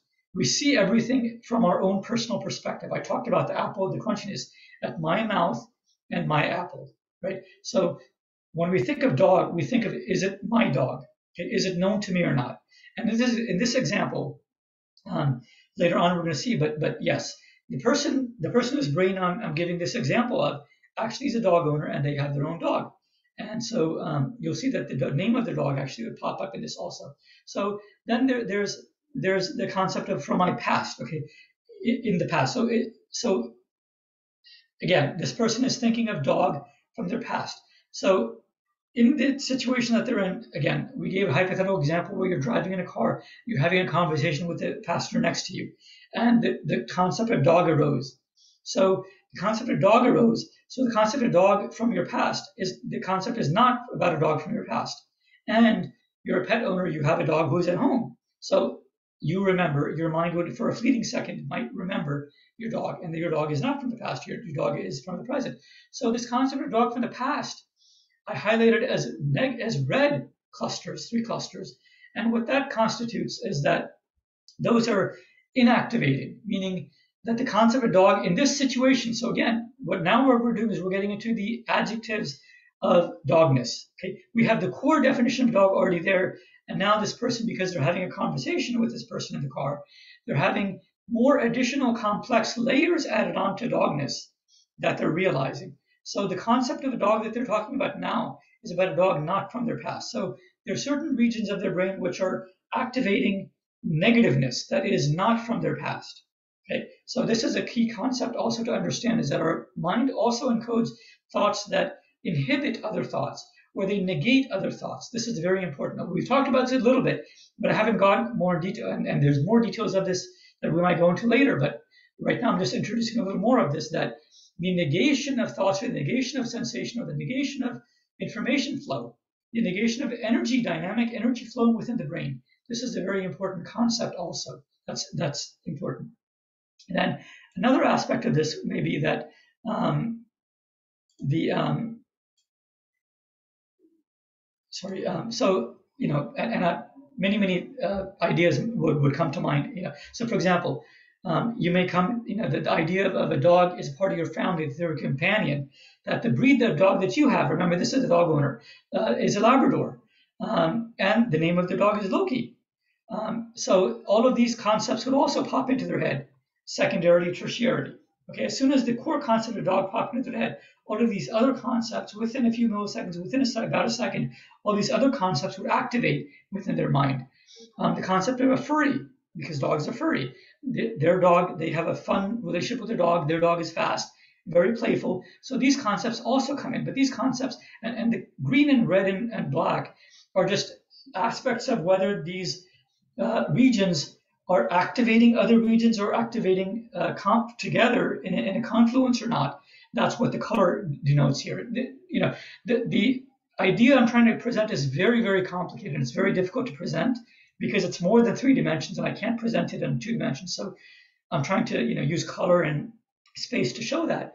And, and you know, the verbal definition I'm trying to use hopefully will help to explain that. Um, and then there, there's some other layers um, around it. So for example, lots and lots of other examples. So um, when you think of a dog, there are many breeds of dogs: Akita, Collie, Hound, Husky, Pit Bull. Right? Those are breeds of dogs. So those breeds of dogs are not my dog, right? So those dog, those breeds of dogs would also activate in the person's mind because they are dogs, and because this person is thinking of a dog. But those activations would be those are those light gray regions in here, and those regions are dimly activated. They're not very strongly activated because my dog is not any of those breeds. And probably in the conversation that we're having, the person that, that mentioned it, they did not mention any of those breeds, or the, the dog that we're talking about is not any one of those breeds. So the real-time nature of what activates in a person's mind when they have a thought of a specific dog, that's what we're elaborating here. Other things that would pop up are colors because dogs tend to be colored, right? But they are not yellow, they're not red. Although they can be reddish, they can be reddish brown, but they're not red. They're not orange, green, blue. Um, so those regions also are gray. Um, they're not a tool. I mean, you can think of, but dogs are not a tool. Um, they're not a vehicle. Um, so there are red regions in here that which I deactivate. Um, there are names of, of, animals, Nemo and Checkers. Those are Nemo is not the name of a common dog. It's the name of a, of a movie character. A Checkers is the name of a famous dog, but that's not my dog. So these are, are larger gray regions. So all of these things are basically showing the types of regions, multiple regions would, that would activate within our brain um, when during a conversation the concept of a dog or a specific dog pops up. Now, in this example, the specific dog that was in the conversation was not my pet dog, was not the, the dog, the pet dog of the person who owns the dog. It was a dog related to, let's say, a story that they're talking about or some, some other the issue. Okay. So the state of the brain that pops up in the listener's mind would be around that dog but it would also be merged in with their own personal dog. Because remember, everything in the world is personal. So this person knows they have their personal dog. So their personal dog. So down at the bottom here, these aspects of their personal dog also popped in simultaneously. They couldn't help it. Right? This is what happens to our brain. This is one of the reasons why subconsciously things automatically happen in our brain. We can't help it. We can't stop them oftentimes because that's the nature of it. Um, things that are personal to us, especially if they're very personal and emotional, if they have strong emotional valence, if they have strong emotional energy in us, um, they automatically pop up. So that's the reason why family companion Loki, Loki is the name of the dog. That's why that popped up very strongly in a green, positive, reinforcing way. Because for this person, even though the conversation is not about their personal dog Loki, their personal dog still popped in their head for a fleeting moment, and then within a few seconds, this will this dynamic picture will change it will so that's another aspect that I can't change because animation is complicated to make. I didn't have the time to make this into a, a fluid animation. I'm just showing the first instance of it as it evolved over the first you know one or two seconds, but after four or five or eight seconds, it will continue to change, and certain aspects of these will disappear. And then other aspects, as, as the person who we're talking with sitting in the car, the story continues, other things that they're talking about in the story will come into mind. And this aspect of dogness will disappear from our mind because those other aspects of the story will continue and take over. So these are all important in, in how ideas emerge and originate and transform and, and disappear in our mind. Um, and, and they merge with other ideas and how one idea and one thought and one emotion um, transposes and, and uh, basically translates into another related and, and eventually unrelated uh, thought and idea. So something else that um, um, I wanted to present is this idea of what's known as a word cloud. Now, some, uh, I, hope, I think everybody probably has heard of what a word cloud is. A word cloud we've seen is basically, it's like a little uh, image of, certain words, right, all put together. And the words, uh, some words are larger than others, and sometimes word clouds have color also. In this case, I've used color, excuse me, color encoding to encode it. But a very simple, it's not completely accurate, but it's roughly accurate enough that it'll, it'll give us a positive understanding of, of how our brain functions. A roughly accurate way, a simplistic but accurate way of thinking about how our brain represents ideas and thoughts is as a word cloud. And one of the videos that I linked to actually goes into that. Um, and again, it is not completely accurate because, again, it's a word cloud that's changing over time.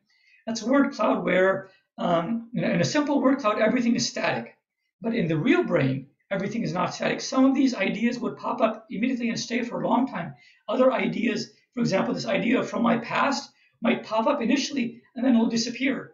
While other things keep popping up, like the family and, and companion, Labrador, and real, those things might pop up and stay for a longer time. While this from my past concept might disappear, it might pop up instantly and disappear very rapidly.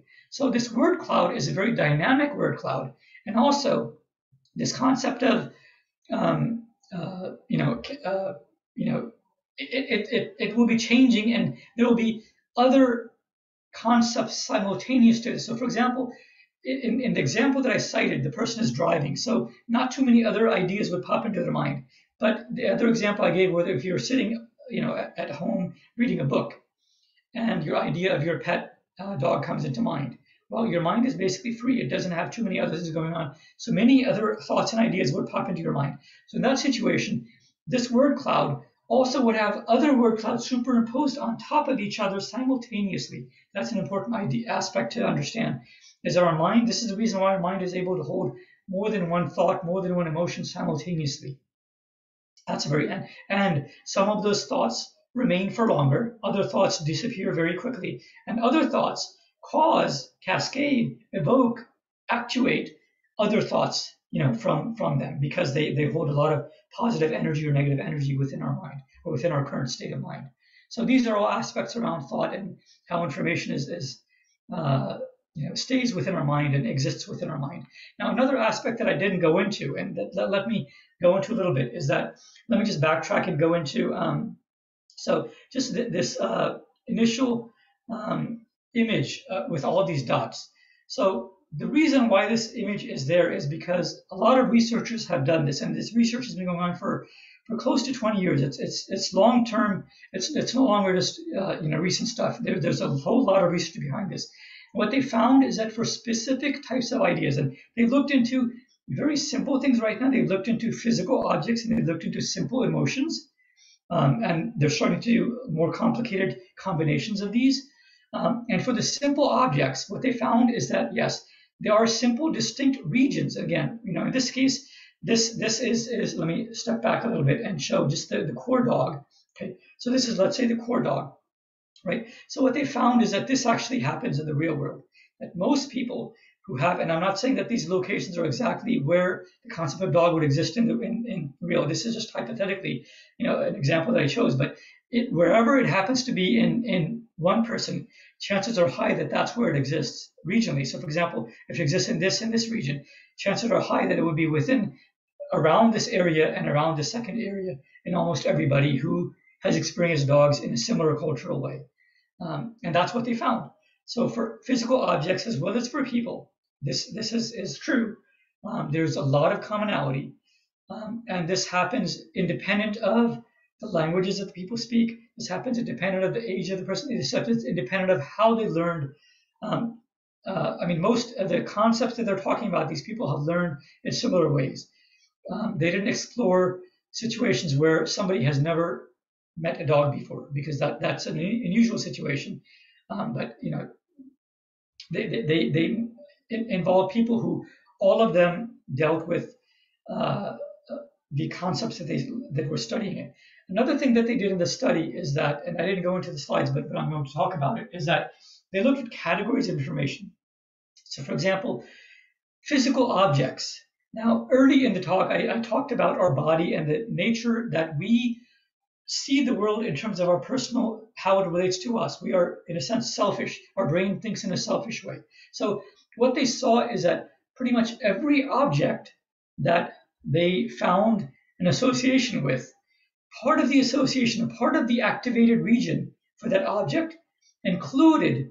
Um, and so let me let me actually clarify. So in in in the um, the border between the uh, so I'm going to move my mouse so hopefully you can all see it. There's a region in this topmost area of our brain, the dorsal area, um, and it's it's on the right edge, the uh, um, anterior edge of the frontal lobe. Frontal lobe is in the front here, and it's the anterior, the front edge of the uh, parietal lobe. So there are two actual, very, very um, thin but very important regions of our brain. Um, and these regions of our brain are very interesting because both of them, one, the one on the left encodes basically our entire body, right? But it encodes our entire body in terms of the muscles in our body and our movement in our body, right? And the one on the right encodes our entire body, but it encodes the sensations and the perceptions of the and the sensors in our body. So, for example, in our in our skin, we have sensors all over, right? We have sensors of, of temperature. We have sensors of, of olfactory odor, you know, odor sensation. We have sweat glands. So all of these sensors and actuators in our body are encoded in these two regions in our brain, right? Um, and what they found is that pretty much everything that's physical in the world, at least these common objects that they studied, all of these physically common objects, when they're encoded in our brain, they are also encoded along with how they interact with our body.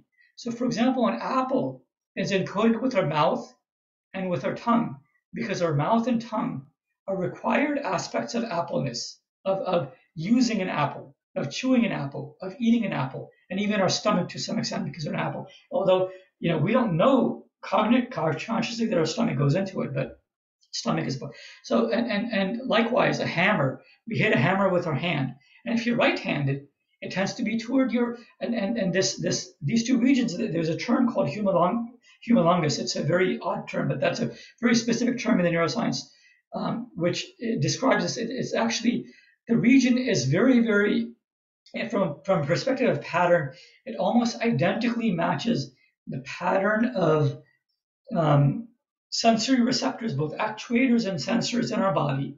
And so, for example, at, at one end is our feet, and the other end is our head or nose uh, um, and eyes, and everything in between maps almost directly. And our hands are somewhere in the middle. But also the number of neurons that are that are associated with each region. For example, our hands depend on the amount of sensation or the amount of control that we have. So, for example, our hands are very, very important to us as beings. So, when we have very high dexterity in our ability to move our hands and thumbs, right? And same with our tongue. Um, we have a lot of sensors in our tongue and, and uh, olfactory, our nose, and we have a lot of precision and the ability to move our tongue. That's the reason we have sophisticated language and the ability to speak with the, all these sounds. And so the region for our tongue and the region for our hands have are much much larger than anything else than most of the other things in, in, in these homunculi, these two regions in our brain. So so what what we saw, what, what they saw, is that the encoding of objects, simple objects in the in, in, in the world that we're able to interact with, are also encoded as part of the part of our body which is used or necessary or important to uh, to uh, uh, interact with that object. Um, and this is a pattern that's there.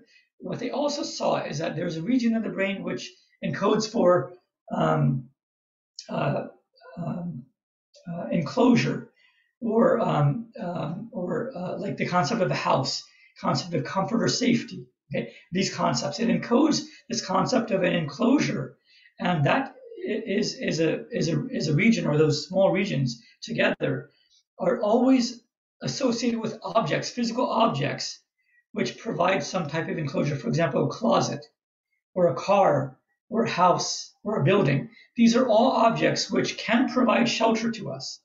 And so, whenever we have the conceptualization of an idea, like a building or a school, they also have activated as part of them that, that area that is the quote unquote shelter area or the enclosure area of our brain. Um, so this is something that's also important to understand that our brain has these core, um, you can say, uh, catalog of categories of objects in the world um, which it encodes. So, for example, when in this, I when I encoded the, the concept of real, real is another real versus imaginary. That's another one of those that that's there. Um, where is it a real object or is it an imagined object or is it something that's imaginary to me? So these are just examples of, of concepts and encoding of information within our brain. So let me stop here, um, and what we'll do is we'll do some questions and answers if people want. We can also have um, closing thoughts if people want. So let me close here, um, and um, go back to uh, to the um, the main screen.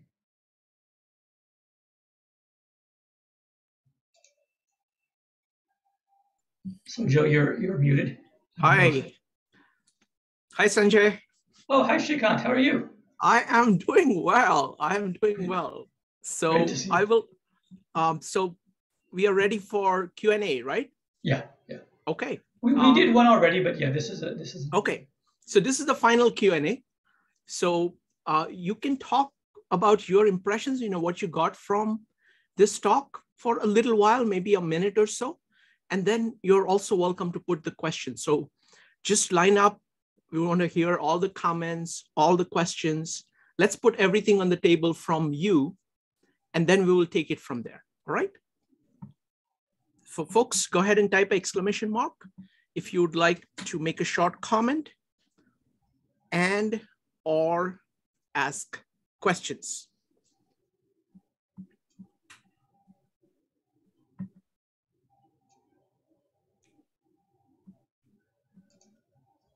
We'll start with Vanessa. Vanessa, what did you what did you get from this uh, presentation, and what are your questions? Oh, I found it quite interesting um, and I do like your display with the brain and just showing the different circles and the colors and the dots, kind of just where that may be encoded. Now, maybe for future discussion, um, it mentioned those studies, uh, like, you know, showing a hammer briefly. Do you see them going down the future where maybe being deceptive, like saying the sound of a hammer and let's say you hear a diesel horn or something to see if that, you know, you get a little flash like, wait a minute, whether it shows confusion or unexpected or somehow it's encoded differently when it is either you know you may be deceived or something like that. You see those studies going forward or something like that. So about uh, deception and you know, misinterpretation, what wonderful. Thank you. Thank you, Vanessa. Next up is going to be Joe, followed by Ella. Joe. Yeah, I thought that this was a, you know, one of your best presentations yet, uh, Sanjay. Um, I mean, I thought that this was very good as far as, you know, kind of giving us the visuals as to what thoughts like and how they interact, how we process them, what they are, how they work in with uh, periods of time. And, and so I really appreciated that. Um, there were a couple things actually I, I found, you know, I was wondering if we could maybe explore that you were in the sources uh, that were in the sources that you're posted is that and one of those ideas was this idea of neuromarketing. And, you know, I thought that that was interesting. And I was wondering if you could offer your thoughts on essentially what that exactly the potential for that and even how that would work. What is the process for that? I didn't, the one part they did mention is they talked about neuromarketing, but they didn't exactly talk about how it worked. They could they would talk about how they could locate an idea specific in your mind. But doesn't mean again doesn't mean it would you would be taking an action on that. So if you could explain that process i thought that that was pretty fascinating. Wonderful. On neuromarketing. Wonderful. Uh, thank you. Thank you joe. Uh, next up is ella. Ella, go ahead. Um, yes, thank you so much, uh, Sanjay. Um, I have a couple questions. One is about consciousness and our are X amount of neurons needed to develop the I, that is um, that higher level of consciousness? Is there an amount or is there a complexity in terms of the the, the map of neurons that would be required for consciousness. The second part of my question is about if you have organs removed, say the thyroid or part of the um, intestinal system um, due to surgery, then, and they are a part of that, as you had mentioned prior, uh, neuronal network. You have the network uh, in the brain, you have the neurons in the brain, you may have some in the body, in the intestinal system, perhaps other organs. So if those body organs are removed, is that going to affect your brain or your body functions in general? Thank you. Thank you, Ella. Um, folks, go ahead and type exclamation mark to put your questions or comments. I'm going to add a question. I've been reading uh, Steven Pinker on language. And this is how he puts the problem of communication using language. He says, brain is a network. It's a very dense and complex network. You're communicating to another network, which is a dense and complex network. And you're doing it through this line. How is it that an effective line of speaking or writing manage? How does that manage to connect one giant network with another? So that's that's the question that I had. All right, folks, uh, last chance for putting questions on the table. Otherwise, we'll go ahead and take um, take um, you know go to the answers. Uh, so first one, let's start with uh, Ella's question on consciousness does consciousness require a certain level of complexity of the neural network? What are your thoughts about consciousness and neural network? Um, so,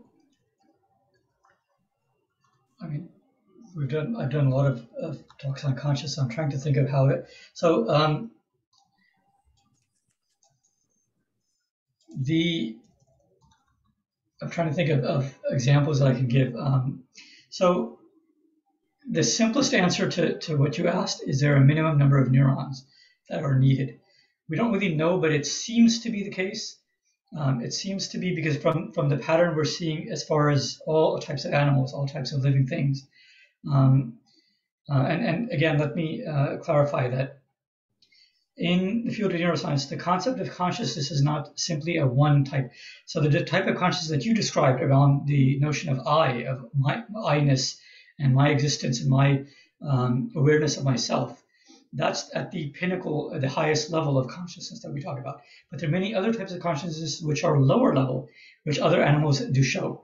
Um, and so what we see is that this hierarchy of consciousness seems to match um, seems to um, match the progression of the density of neurons, not necessarily the size of, of the brain, but the density of neurons um, in organisms, in animals.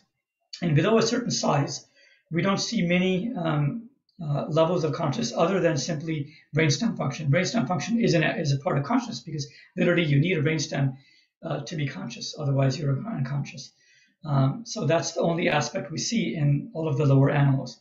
And progressively, as we get higher and higher, and as and again in evolution, what we see is that uh, not just evolutionarily, but even embryo- embryologically. So as a fetus of any animal, including humans, as the fetus develops, the embryo- growth of the brain from the neural tube, and I did talk about this a while back, that also mimics the evolutionary path that all animals took, or at least our descendant, our lineage along the tree path, the path of the of the tree that we took. Our our uh, growth in the womb, the brain, our brain's growth in the womb, mimics that similar path, and we see that in the beginning, our brain resembles the brain of certain of those organisms, and then eventually certain regions go on. At the end, our frontal lobe, uh, or cortex actually, and then the frontal lobe within our cortex is the last area to really flourish. Um, and so, looking at all these together, um, pro- I mean, I personally believe that yes, consciousness is tied to the number of neurons, but it's not that simple, because an infant on the first day they're born has more neurons than adults do. But I believe they have less of a consciousness than adults do. So it's not simply the number of neurons. It's, there's more to it than that. And, and I've talked about this. This is this is something that we're, we're we talk about a lot in, this group, and I'm going to continue to. So, um, you know, this is something we'll we'll go into more further later. Wonderful. Uh, thank you, uh, Ella. And I would recommend uh, to you the um, the playlist uh, of neuroscience that um, you know all, all the different meetups that uh, Sanjay has done. Joe, could you do me a favor and put the list there? Uh, this topic has been dealt with in multiple ways in you know multiple meetups. Uh, thank you. Uh, next question is again Ella's question on removal of an organ. How does removal of an organ impact the brain? Yeah. So great. Um, so yeah, we our our mind and body are interconnected. Now our body has has neurons. Literally, it has neurons, but not every part of our body has the same number and the same uh, extent of neurons. Um, for example, our heart has neurons because our brain needs to sense and it needs to control it. Um, and every muscle, every muscle that our brain connects to. Now the muscles don't have neurons, but they have precursors to what are uh, similar to um, actuators and sensors. Uh, so, for example, our, our mind is able to sense the position of our body. Proprioception is this concept that, not a concept, it's a physical thing that our brain is capable of doing. It's able to literally measure the position of our muscles and our joints and limbs in our in space, even with our eyes completely closed. Even blind people can do that. So it's not based on vision. Um, and so there's our, our body is, is intricately connected into our brain. So if any of that is severed or if organs are removed, those connections are gone. Um, and so, yes, if, if let's say an intestine or part of intestine is cut, we will lose that connection.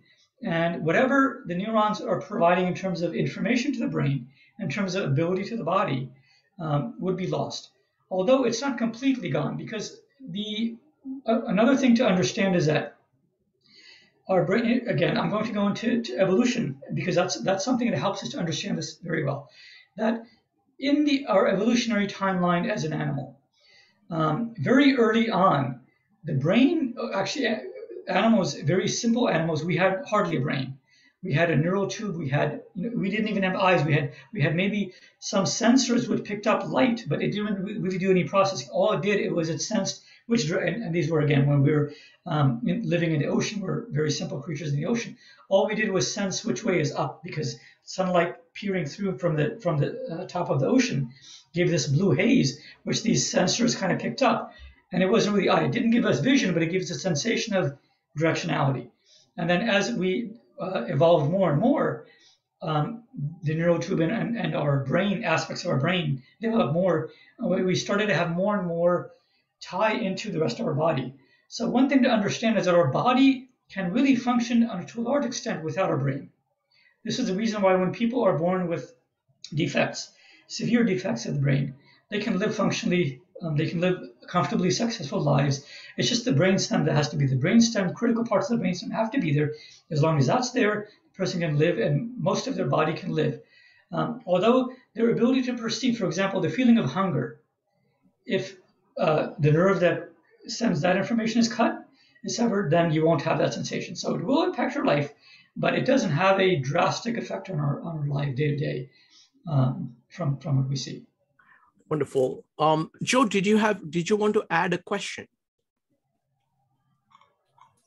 Um, I did, uh, and right now uh, it's oh, it was one that had to do with this idea of how our memories are stored, and they're able to actually identify what is where we've been, what we've done, and and uh, you know they're able to scan our minds to understand like if we've been uh, to say Paris or something like that, or you know things like that.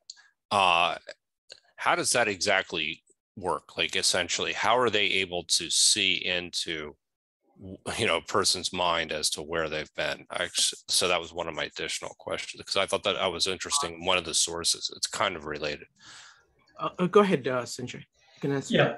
So, so yeah, uh, very good. Uh, that question is is interesting because it was done. It was explained in a subtle way, and actually, the person, the, the group that's doing the research, they haven't completed the research; it's still ongoing. I went to the website um, a few days ago and, and, and tried to look at. So th- there's a key information which they did talk about, but it was very subtle, and that is that they're actually when when they're looking into the other person's brain, they don't. They're, there's they're not seeing. Uh, or the other person, the brain that they're looking into doesn't encode the location of where they've been. What they're doing is they're showing the person images. Okay, so this is a very important part that this only works while they're showing the person images, okay, and it can be video or it can be static images, photos, but they, they have to show the person images.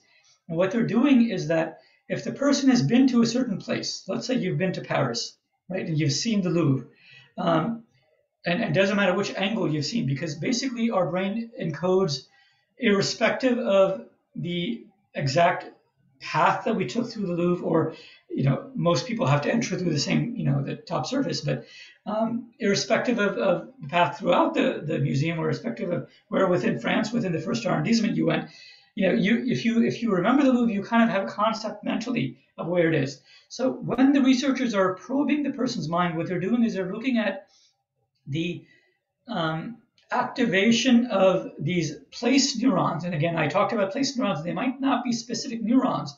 They might actually be regions. They might actually be clusters of neurons. But they're looking at these clusters for activation.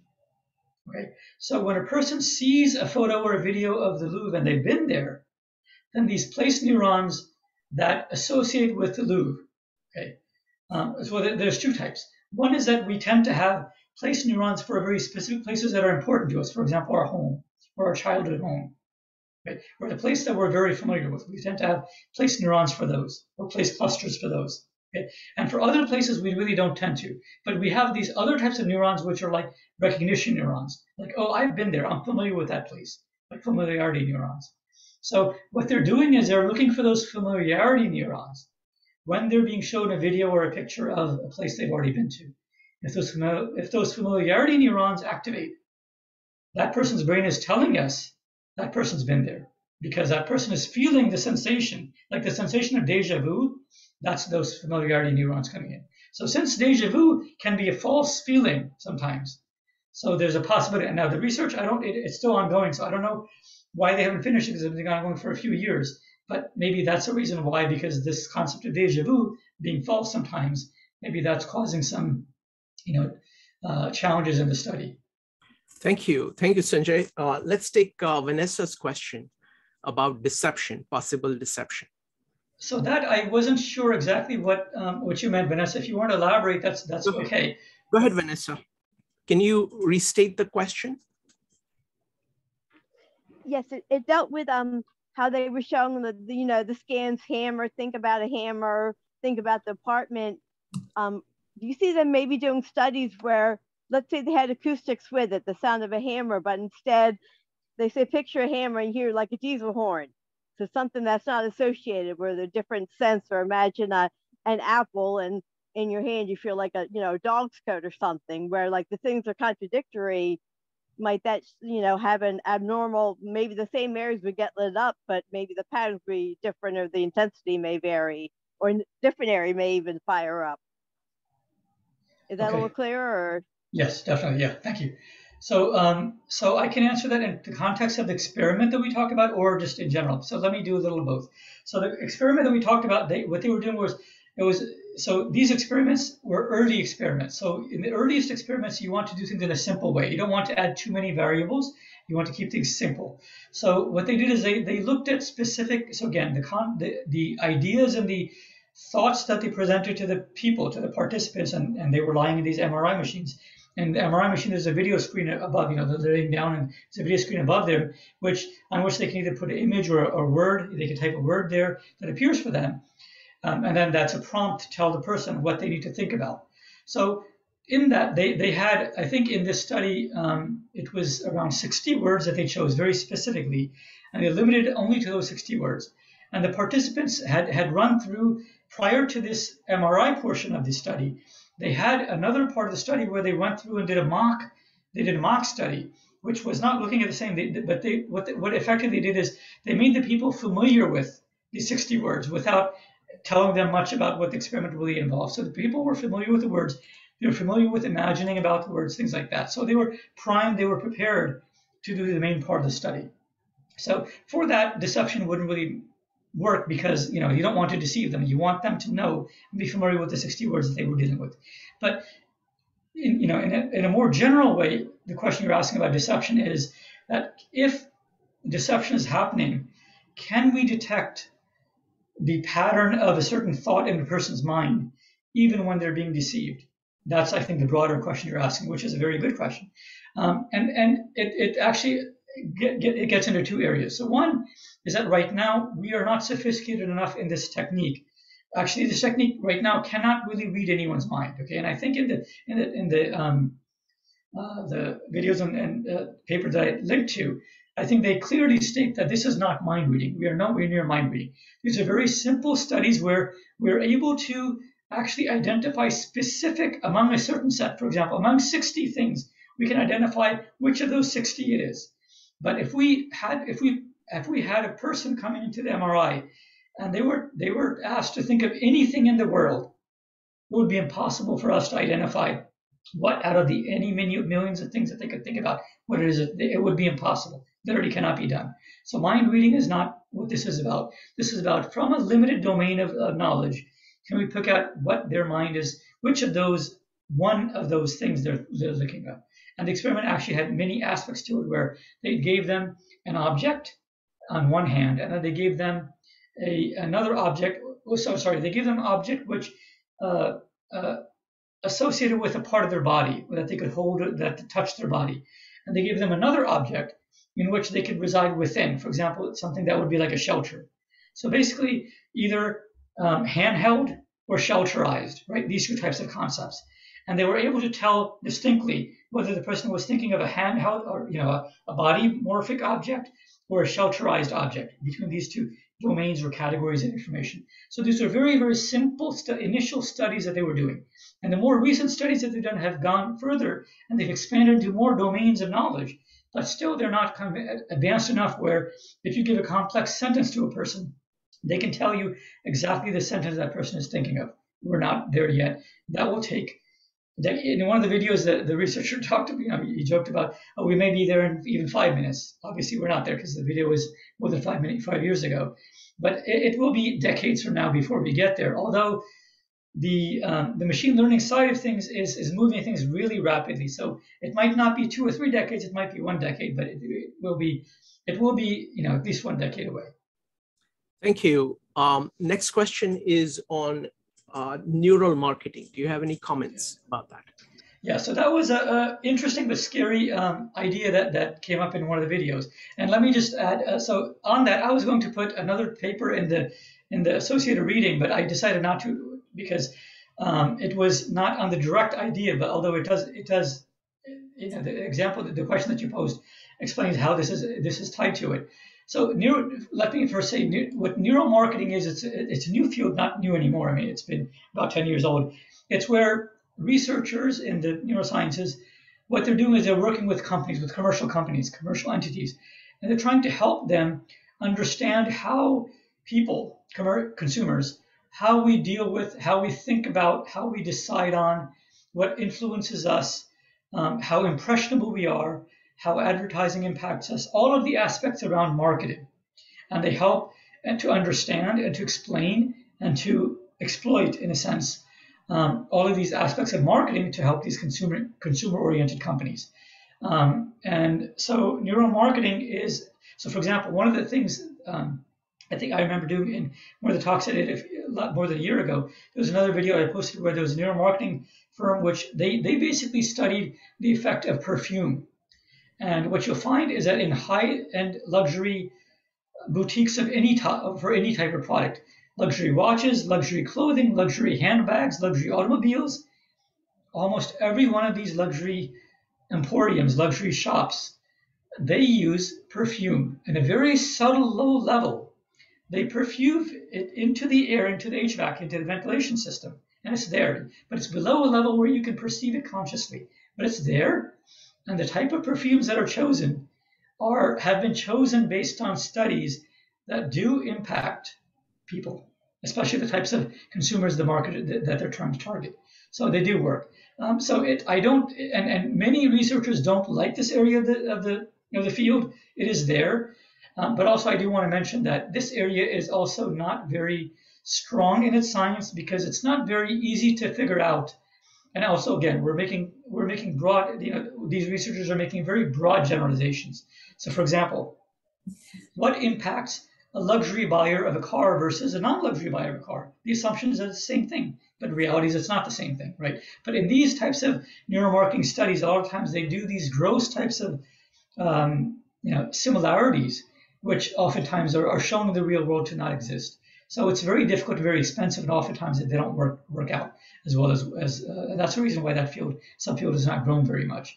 Um, the, the paper that I wanted to link was uh, was done by, and it was not done intentionally for neuromarketing purposes. It was done as part of this activity, as part of understanding whether um, our encoding of, of, tangible objects in the world can be discerned or not. And what the researcher, this is actually a very um, prominent, a very famous researcher, uh, name of uh, John Dylan Haynes. Um, and what he did is his team, they did a study where they took a group of two, a group of people, and uh, actually two groups, you know, they, they split the the, um, the subjects into two uh, subsets, into two um, um, uh, cohorts.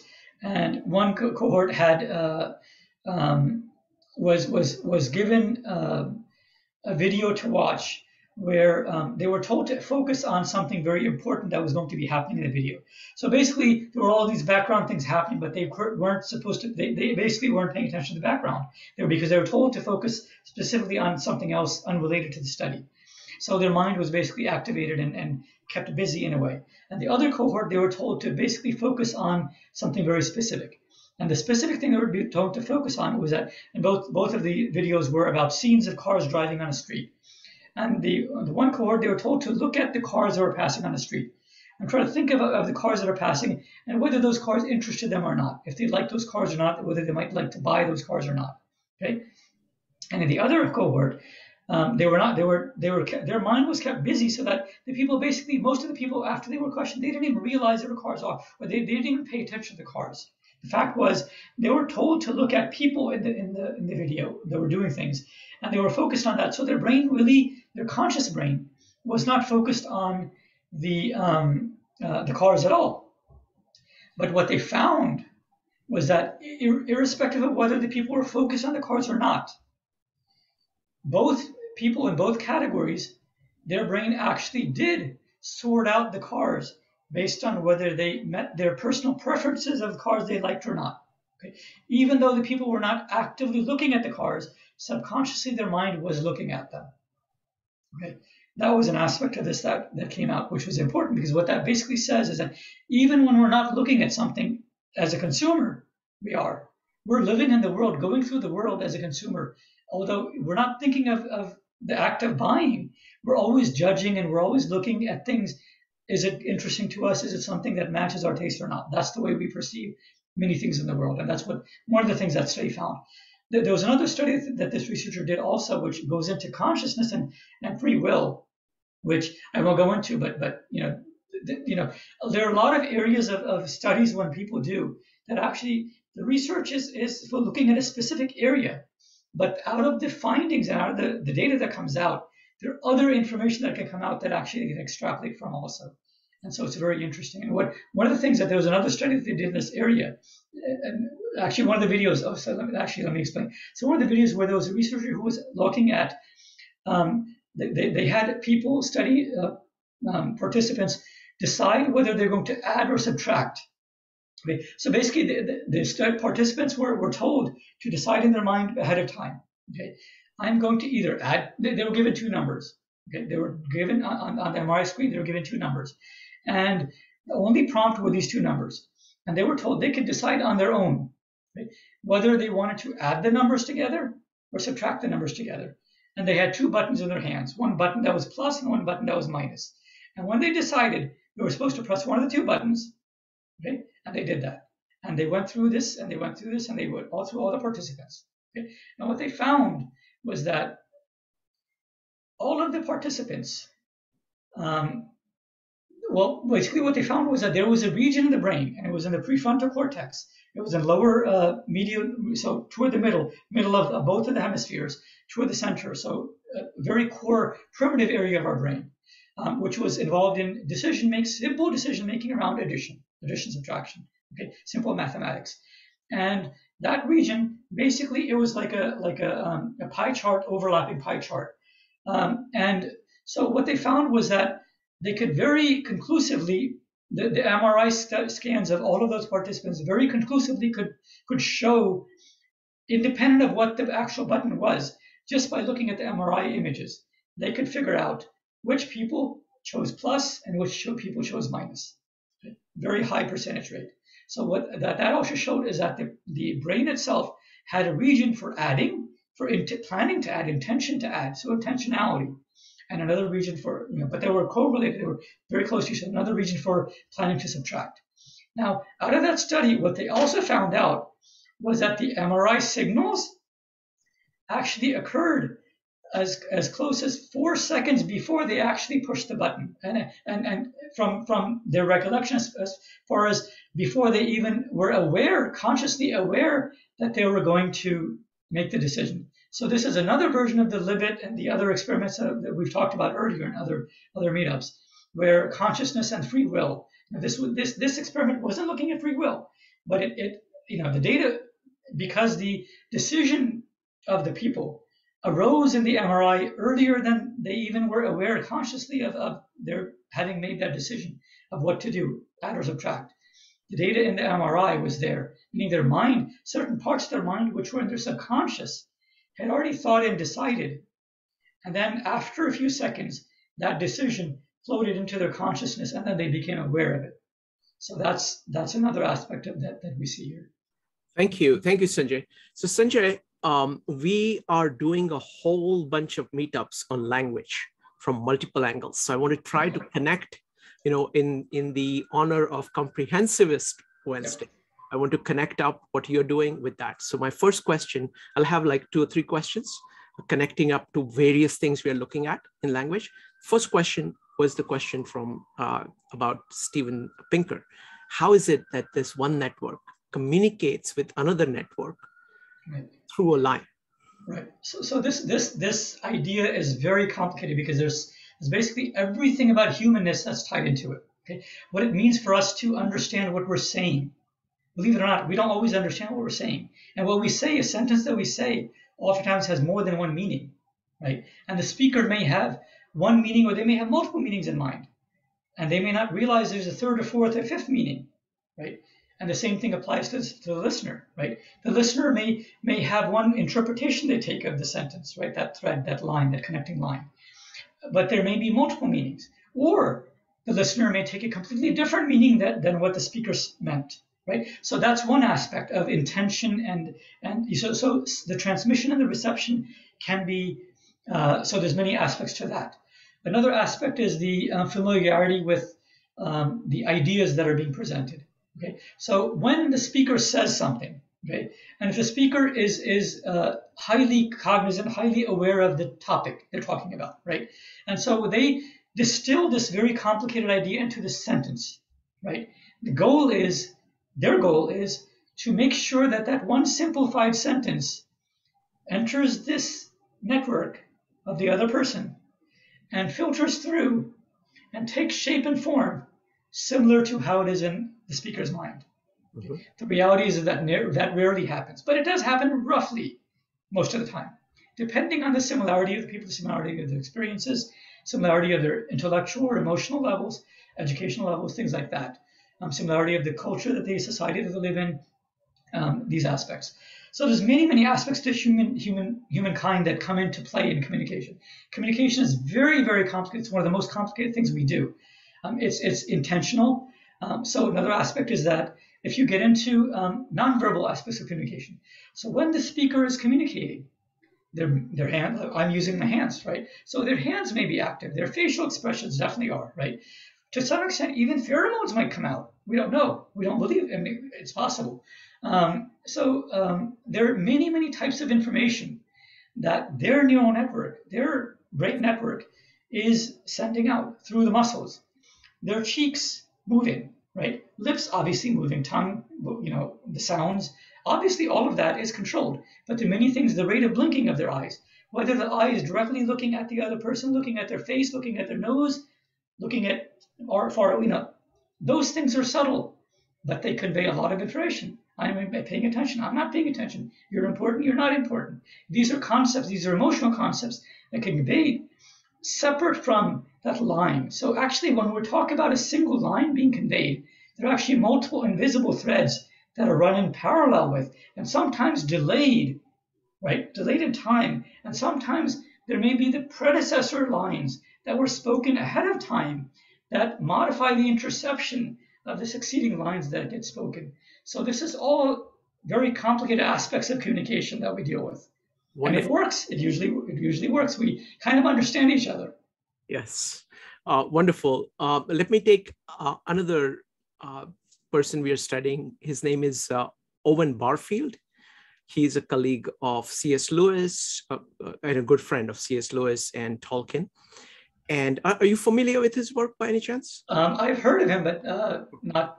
So, I mean, I would summarize his thought as what he's saying is that did he write uh, the Narnia series?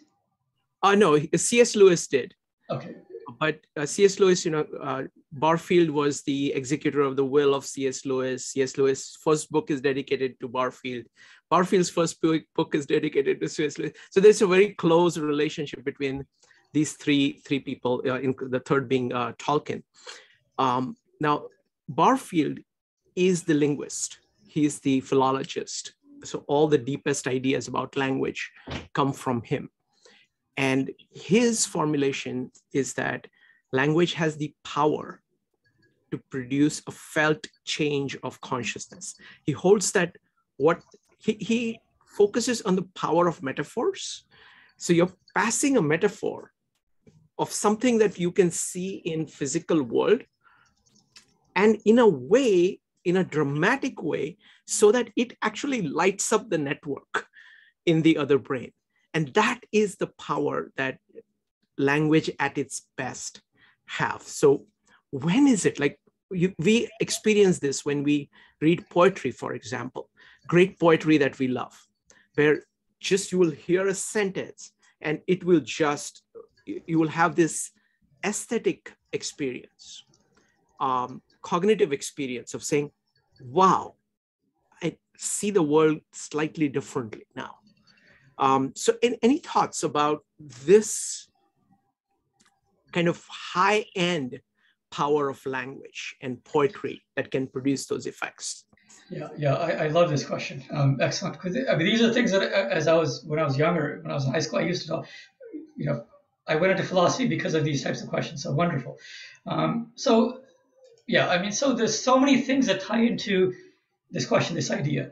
Um, so the conversation, the, the line, the poet, the poetry, the, the, the line of the poem that that uh, gets sent, um, it, it requires a familiarity between the the, uh, the the creator and the listener, right?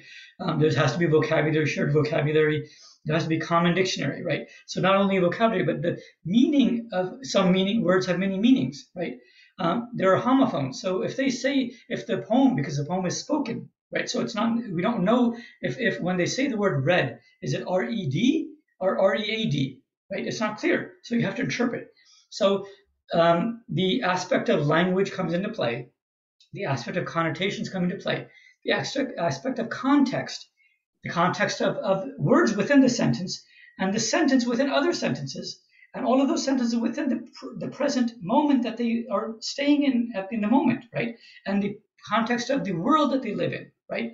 Is it the 20th century, the 21st century, or the 17th century, right? These contexts.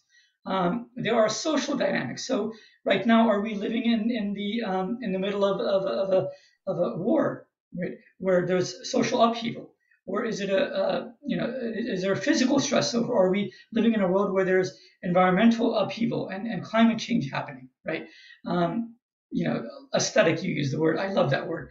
Um, the aesthetic, the aesthetics of um, the uh, the poetry of, of, of the the mellifluousness of the words, how they tie together, how they evoke concepts that are other other concepts separate from the word. You know, um, these are all aspects to to that line that exchanges. Um, there may be aspects to the personal that the speaker or the author who wrote the poem, right? There are things in their lives that are happening that the, that the listener may not be aware of, but that may come out through the poetry, right? Um, what was her name? I forget her name, but uh, young poet. Uh, she's the um, uh, um, poetess, uh, um, on uh, sorry uh, Biden's inauguration. Amanda Gorman. Yeah, yeah, yeah, yeah. I mean, wonderful. We, we, I mean, the, the her the poem that she read was we could see the the personal um, experiences she and she's a young person. Now, the personal experiences she she went through, and what it meant for her, you know, freedom and and, and America and liberty, all these concepts. Um, so you know, there's so many aspects to emotions and personal uh, ideas uh, that that come out through poetry and, and through language, um, and they all come to play. Um, let me let me try to think of some other. Uh, these I would say would be the I don't want to say trite, but these are the common trends that everybody everybody's aware of. I, I, I suspect. Um, so when we when we deal with poetry, there are complete. So poetry also can be negative, right? Negative in the sense that negative space. So you give a bunch of words, but the idea being expressed is that word which is lacking among those words. Right? That's an example. So um, and and that depends on whether the other person um, is sophisticated enough to understand that type of poetry, right? That the speaker is saying that they're giving them a message of negative, negative space of missingness. Um, there may be ideas around. Um, let's see. So, so some poems, what they do is they they create scenes, right? They create an ambiance, right? An aesthetic. Um, other poems, they what they do is they shock, right? They bring you out of the moment. They bring you out of the present moment that we share, you know, that we're in. And they use vivid, strong words or, or you know, some way to take you out of it and put you into a completely different place that the author wants you to be in. And then they play and play, and it's a game. And it's it's intentional, but it's but it's it's, it's mutual. It's you know the, the, the listener wants to because they're there willingly. Um, but it's a way to take you to another place um, where you haven't been, or you you know you, you, either you've never been or you haven't been for a long time. But it's a way to change your mindset completely, to to take you out of your present mindset, anything and everything about your mindset, and take you into. So, for example, they might take you inside of a black hole, right, where none of us have been, but through poetry they can do that. Um, so you know, many many aspects to it that that uh, that come to mind. All right, so two more questions. Um, the first one of these is we've been studying Tao Te Ching, Gospel of John, and Bhagavad Gita in parallel. Tao Te Ching, you know, Jason is doing translations from Mandarin for us. So we have some contact with Mandarin there. For Bhagavad Gita, Yogeshwar is doing translation from Sanskrit. So you have some contact with Sanskrit. Gospel of John, though it is English, it is English written at a different time. And that also works very differently than the modern English. So it's very interesting to notice how these different languages, the English, which is alphabetical language, and you've got this Mandarin, which is very different, and Sanskrit, which is very different.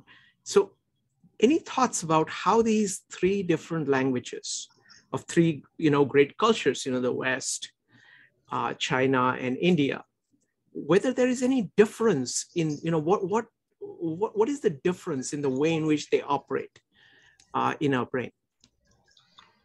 So um, we're going to go into some speculation because this is not. Um, so with language across the board, all languages, all human languages, um, there still are similarities between all of them, right? Because as, as I said earlier, we all share some very, very fundamental basic experiences when we grow up. We all have a mother uh, you know, we have to be born of a mother. Uh, usually there's a father or father figure around. Um, there is a small community or a large community that's some type of community. we live on a physical planet, not in ocean. It might be near ocean, but not. Most of us are not living in the ocean, right? So um, there are many aspects to the world that that give us commonality. Um, and then the the human side of the world is actually um, vast and, and complicated, but that gives a lot more that we don't realize the commonality between us. For example, the fact that all of us, um, so, so just even the, the physical aspects of humanness, that we all can move, we all talk and, and hear, listen, right? We can taste and, and etc. We have emotions, we can feel and hug and, and, and etc. So um, these are all physical aspects of our of our bodiness, of our humanness. Um, we then social aspects. We all have tussles, we have fights, we have um, uh, affect, affections, affectations, we have um, uh, hostility, we have uh, envy, we have um, competition. You know, the, these emotions and these behaviors exist in pretty much every uh, group of people. Um, then we have um, hierarchies, right? Every every group of people have hierarchies. We have leaders, we have followers, we have people who want to become leaders, we have people who are uh, uh, become leaders and they're toppled, right? So there, there's these dynamics around around relationships. Um, so all of these aspects are parts of the languages that we have, and then there are aspects of the, the so the language also is. So I'm assuming you're talking about written, but I'm going to sorry spoken, but I'm going to bring in written also because these um, ancient uh, texts were all written, and that's how they're they're maintained. That's how we still have them. Although there's a strong oral tradition in the Asian ones that was very important. That's you know there's a time period that they passed through that. So the oral and the written are both important aspects of language that, especially this question, because the texts that went through the oral period, not written, there are certain aspects of our oral behaviors that imprinted on the way that those stories exist.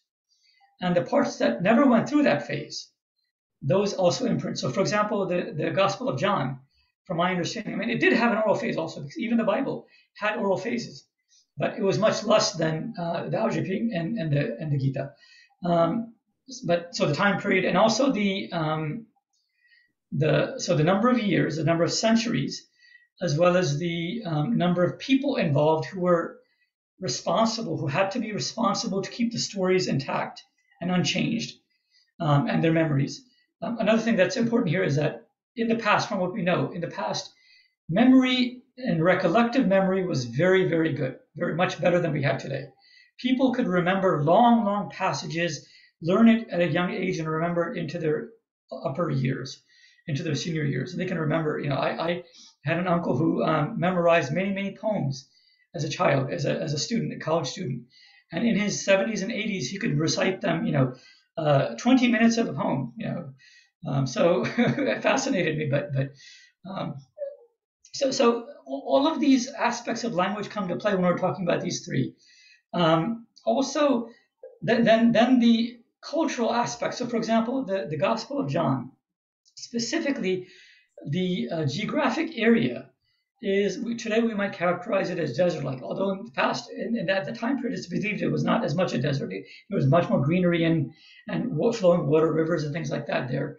Um, but the um, nomadic nature was there even then.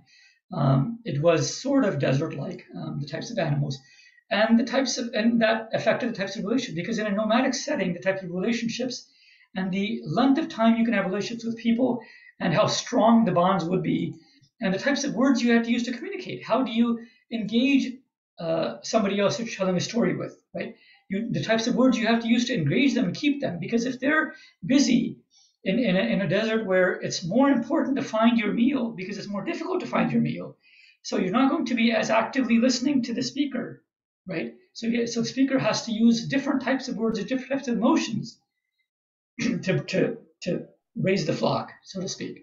So these are all aspects that come to play. Um, I think those are probably um, things that explain why the languages are different, why um, some things are more ornate and flowery and others are less ornate and flowery, why some things are more philosophical and more uh, existential, you might say, or more uh, difficult to or multi-layered. You know, some in some of these texts, ideas are multi-layered, whereas in others they're very straight and down to earth and, and a direct message that they're trying to impart. um, I think the reasons, those are the reasons, uh, you know, some of the reasons why. Wonderful. I, I just love that you brought in the entire context in which the language develops as a way of understanding it. Beautiful. Uh, may I ask you one last question? Yeah, yeah, certainly. Okay. Um, we're studying style, style of writing, style of speaking. Uh, there is this book called Clear and Simple as the Truth.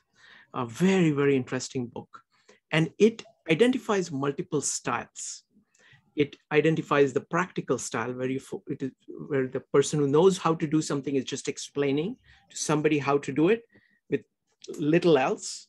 Then there is the plain style where which holds that anybody can understand anything, even a child can understand everything, uh, anything. Then there is the subjective style or introspective style, which just is talking about almost a stream of consciousness, about what is going on in someone's consciousness. There is a romantic style, which says that you get these insights at some point and you're trying to express it. And there is the classic style, which is in the 17th century French style, Mark Twain, people like that. So it's really fascinating to see how these different styles of writing and speaking work um, within individuals. So, any thoughts about these different styles of writing or speaking and how they operate on the brain? Um, so, yeah, I, I, like this this question because um, it gets to what's the best way. Well, well, two things it gets to. One, one is that not every style works with everyone, right? And second, is it possible even, or what is the best way to determine the best style for the situation we're in. Right? And, and one of the most challenging aspects is when you're speaking to audiences, large groups of people especially, because there's not one style. You can't rely on one style. You have to you have to kind of um, you know come with a, a, a, a, salad or a soup or a, you know a melting pot of styles. Um, so let, let me so I'm trying to think of. So you want me to just talk about the various types of styles, or or what? Or, Any observations, or I can I can tell you the description of the classic style. No, no, I I understand. I, am familiar with many of those styles. So so so just so you just you want me to kind of tie to my thoughts around them. Sure. That, okay. Okay. So I I think yeah. I mean I I so um I mean for, so personally I I believe in in uh I don't remember the the term that you used for it, but I believe that anybody, in a theoretical sense, anybody can understand anything. There is a limit because if you if the brain that a person is born with has severe deficiency, then there are limits. But for most normal people, anybody can understand almost anything, but it requires time. It requires patience and, and explanation and depth. Right? It, it requires time to understand. But if you have time, and if you have a, a patient teacher, I think anybody can understand anything. And that, that fundamentally is what I've experienced and what I've seen in the world is that anything, no matter how complicated, the most complicated things in the world can be explained to anyone. And I start from that point of view. So taking that point of view, the other ones to me are elaborations on that on that theory. This is a theory, my theory, um, but I think other people share it also. So I think the other aspects are elaborations of that. So for example, um, and and they're they're you can you can add flavors to this basic technique or tenet of, of, of um, you know in the conversation the first line that you give out you look for visual clues um, as to did the person get that first line or to what extent right? And using that you modify your style a little bit and you present the same idea maybe in a different way or it might be a different idea right? And then you look to see. And if the person asks a question if they look perplexed then you missed it. And you want to start over, but you want to do it in a different way. Or you might basically bring in a joke. You know, you might be self effacing that I'm not doing a good job, am I? Right? This is not making sense to you. Let me try again. Um, and then you try again. Um, so um, I think this is the power of communication because of, of, good communicators because if you can do that, and, and it's easier on one-on-one or, or small groups, um, if you can do that, then um, there's a greater chance that the other person will understand what you're trying to say. But also, the, the, for me, the most challenging part is that this takes time, especially if the connection is not strong or the connection is not uh, um, mellifluous, is not uh, romantic, is not very um, easy, is not very um, uh, you know, natural. Um, if if the people aren't familiar with ideas, the two people, you know, one is or isn't, either one, the speaker or the listener, um, then it can be difficult to get. Or what can happen is the speaker is is is a uh, not experienced and the, and the listener is very experienced, but the listener asks a question which goes beyond what the speaker is. So the listener has to ask that question in a way that the speaker can understand. So it's not just one way, right? There's always a conversation going on, and the conversation isn't always verbal. Um, but in, even when it's verbal, it, it can be it can be uh, for short periods of time. It can be more in the opposite direction, where the listener is asking questions. So um, you know, the, I, I think style has to be has to be modified, and you have to have more than one style in your repertoire to to be effective. Yeah, I mean, uh, I want to look at all your answers, and I think one of the key concept here is that of context. You know, you're trying to understand the context of the other person, and you have to realize what your context is and what that other person's context is. See what commonality exists that you can leverage, and see what the differences are, which you have to build up on.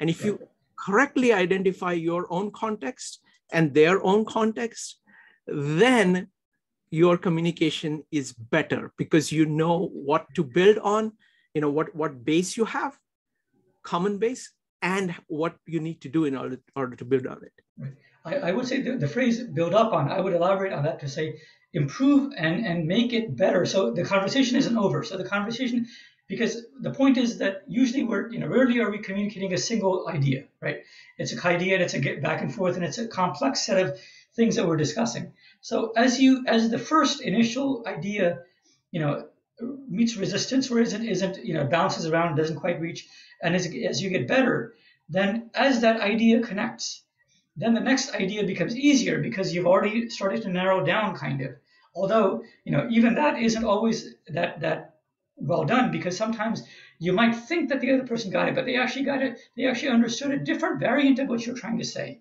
So you're misunderstanding, they're not understanding by misre- misunderstanding the cues, the, the cues, right?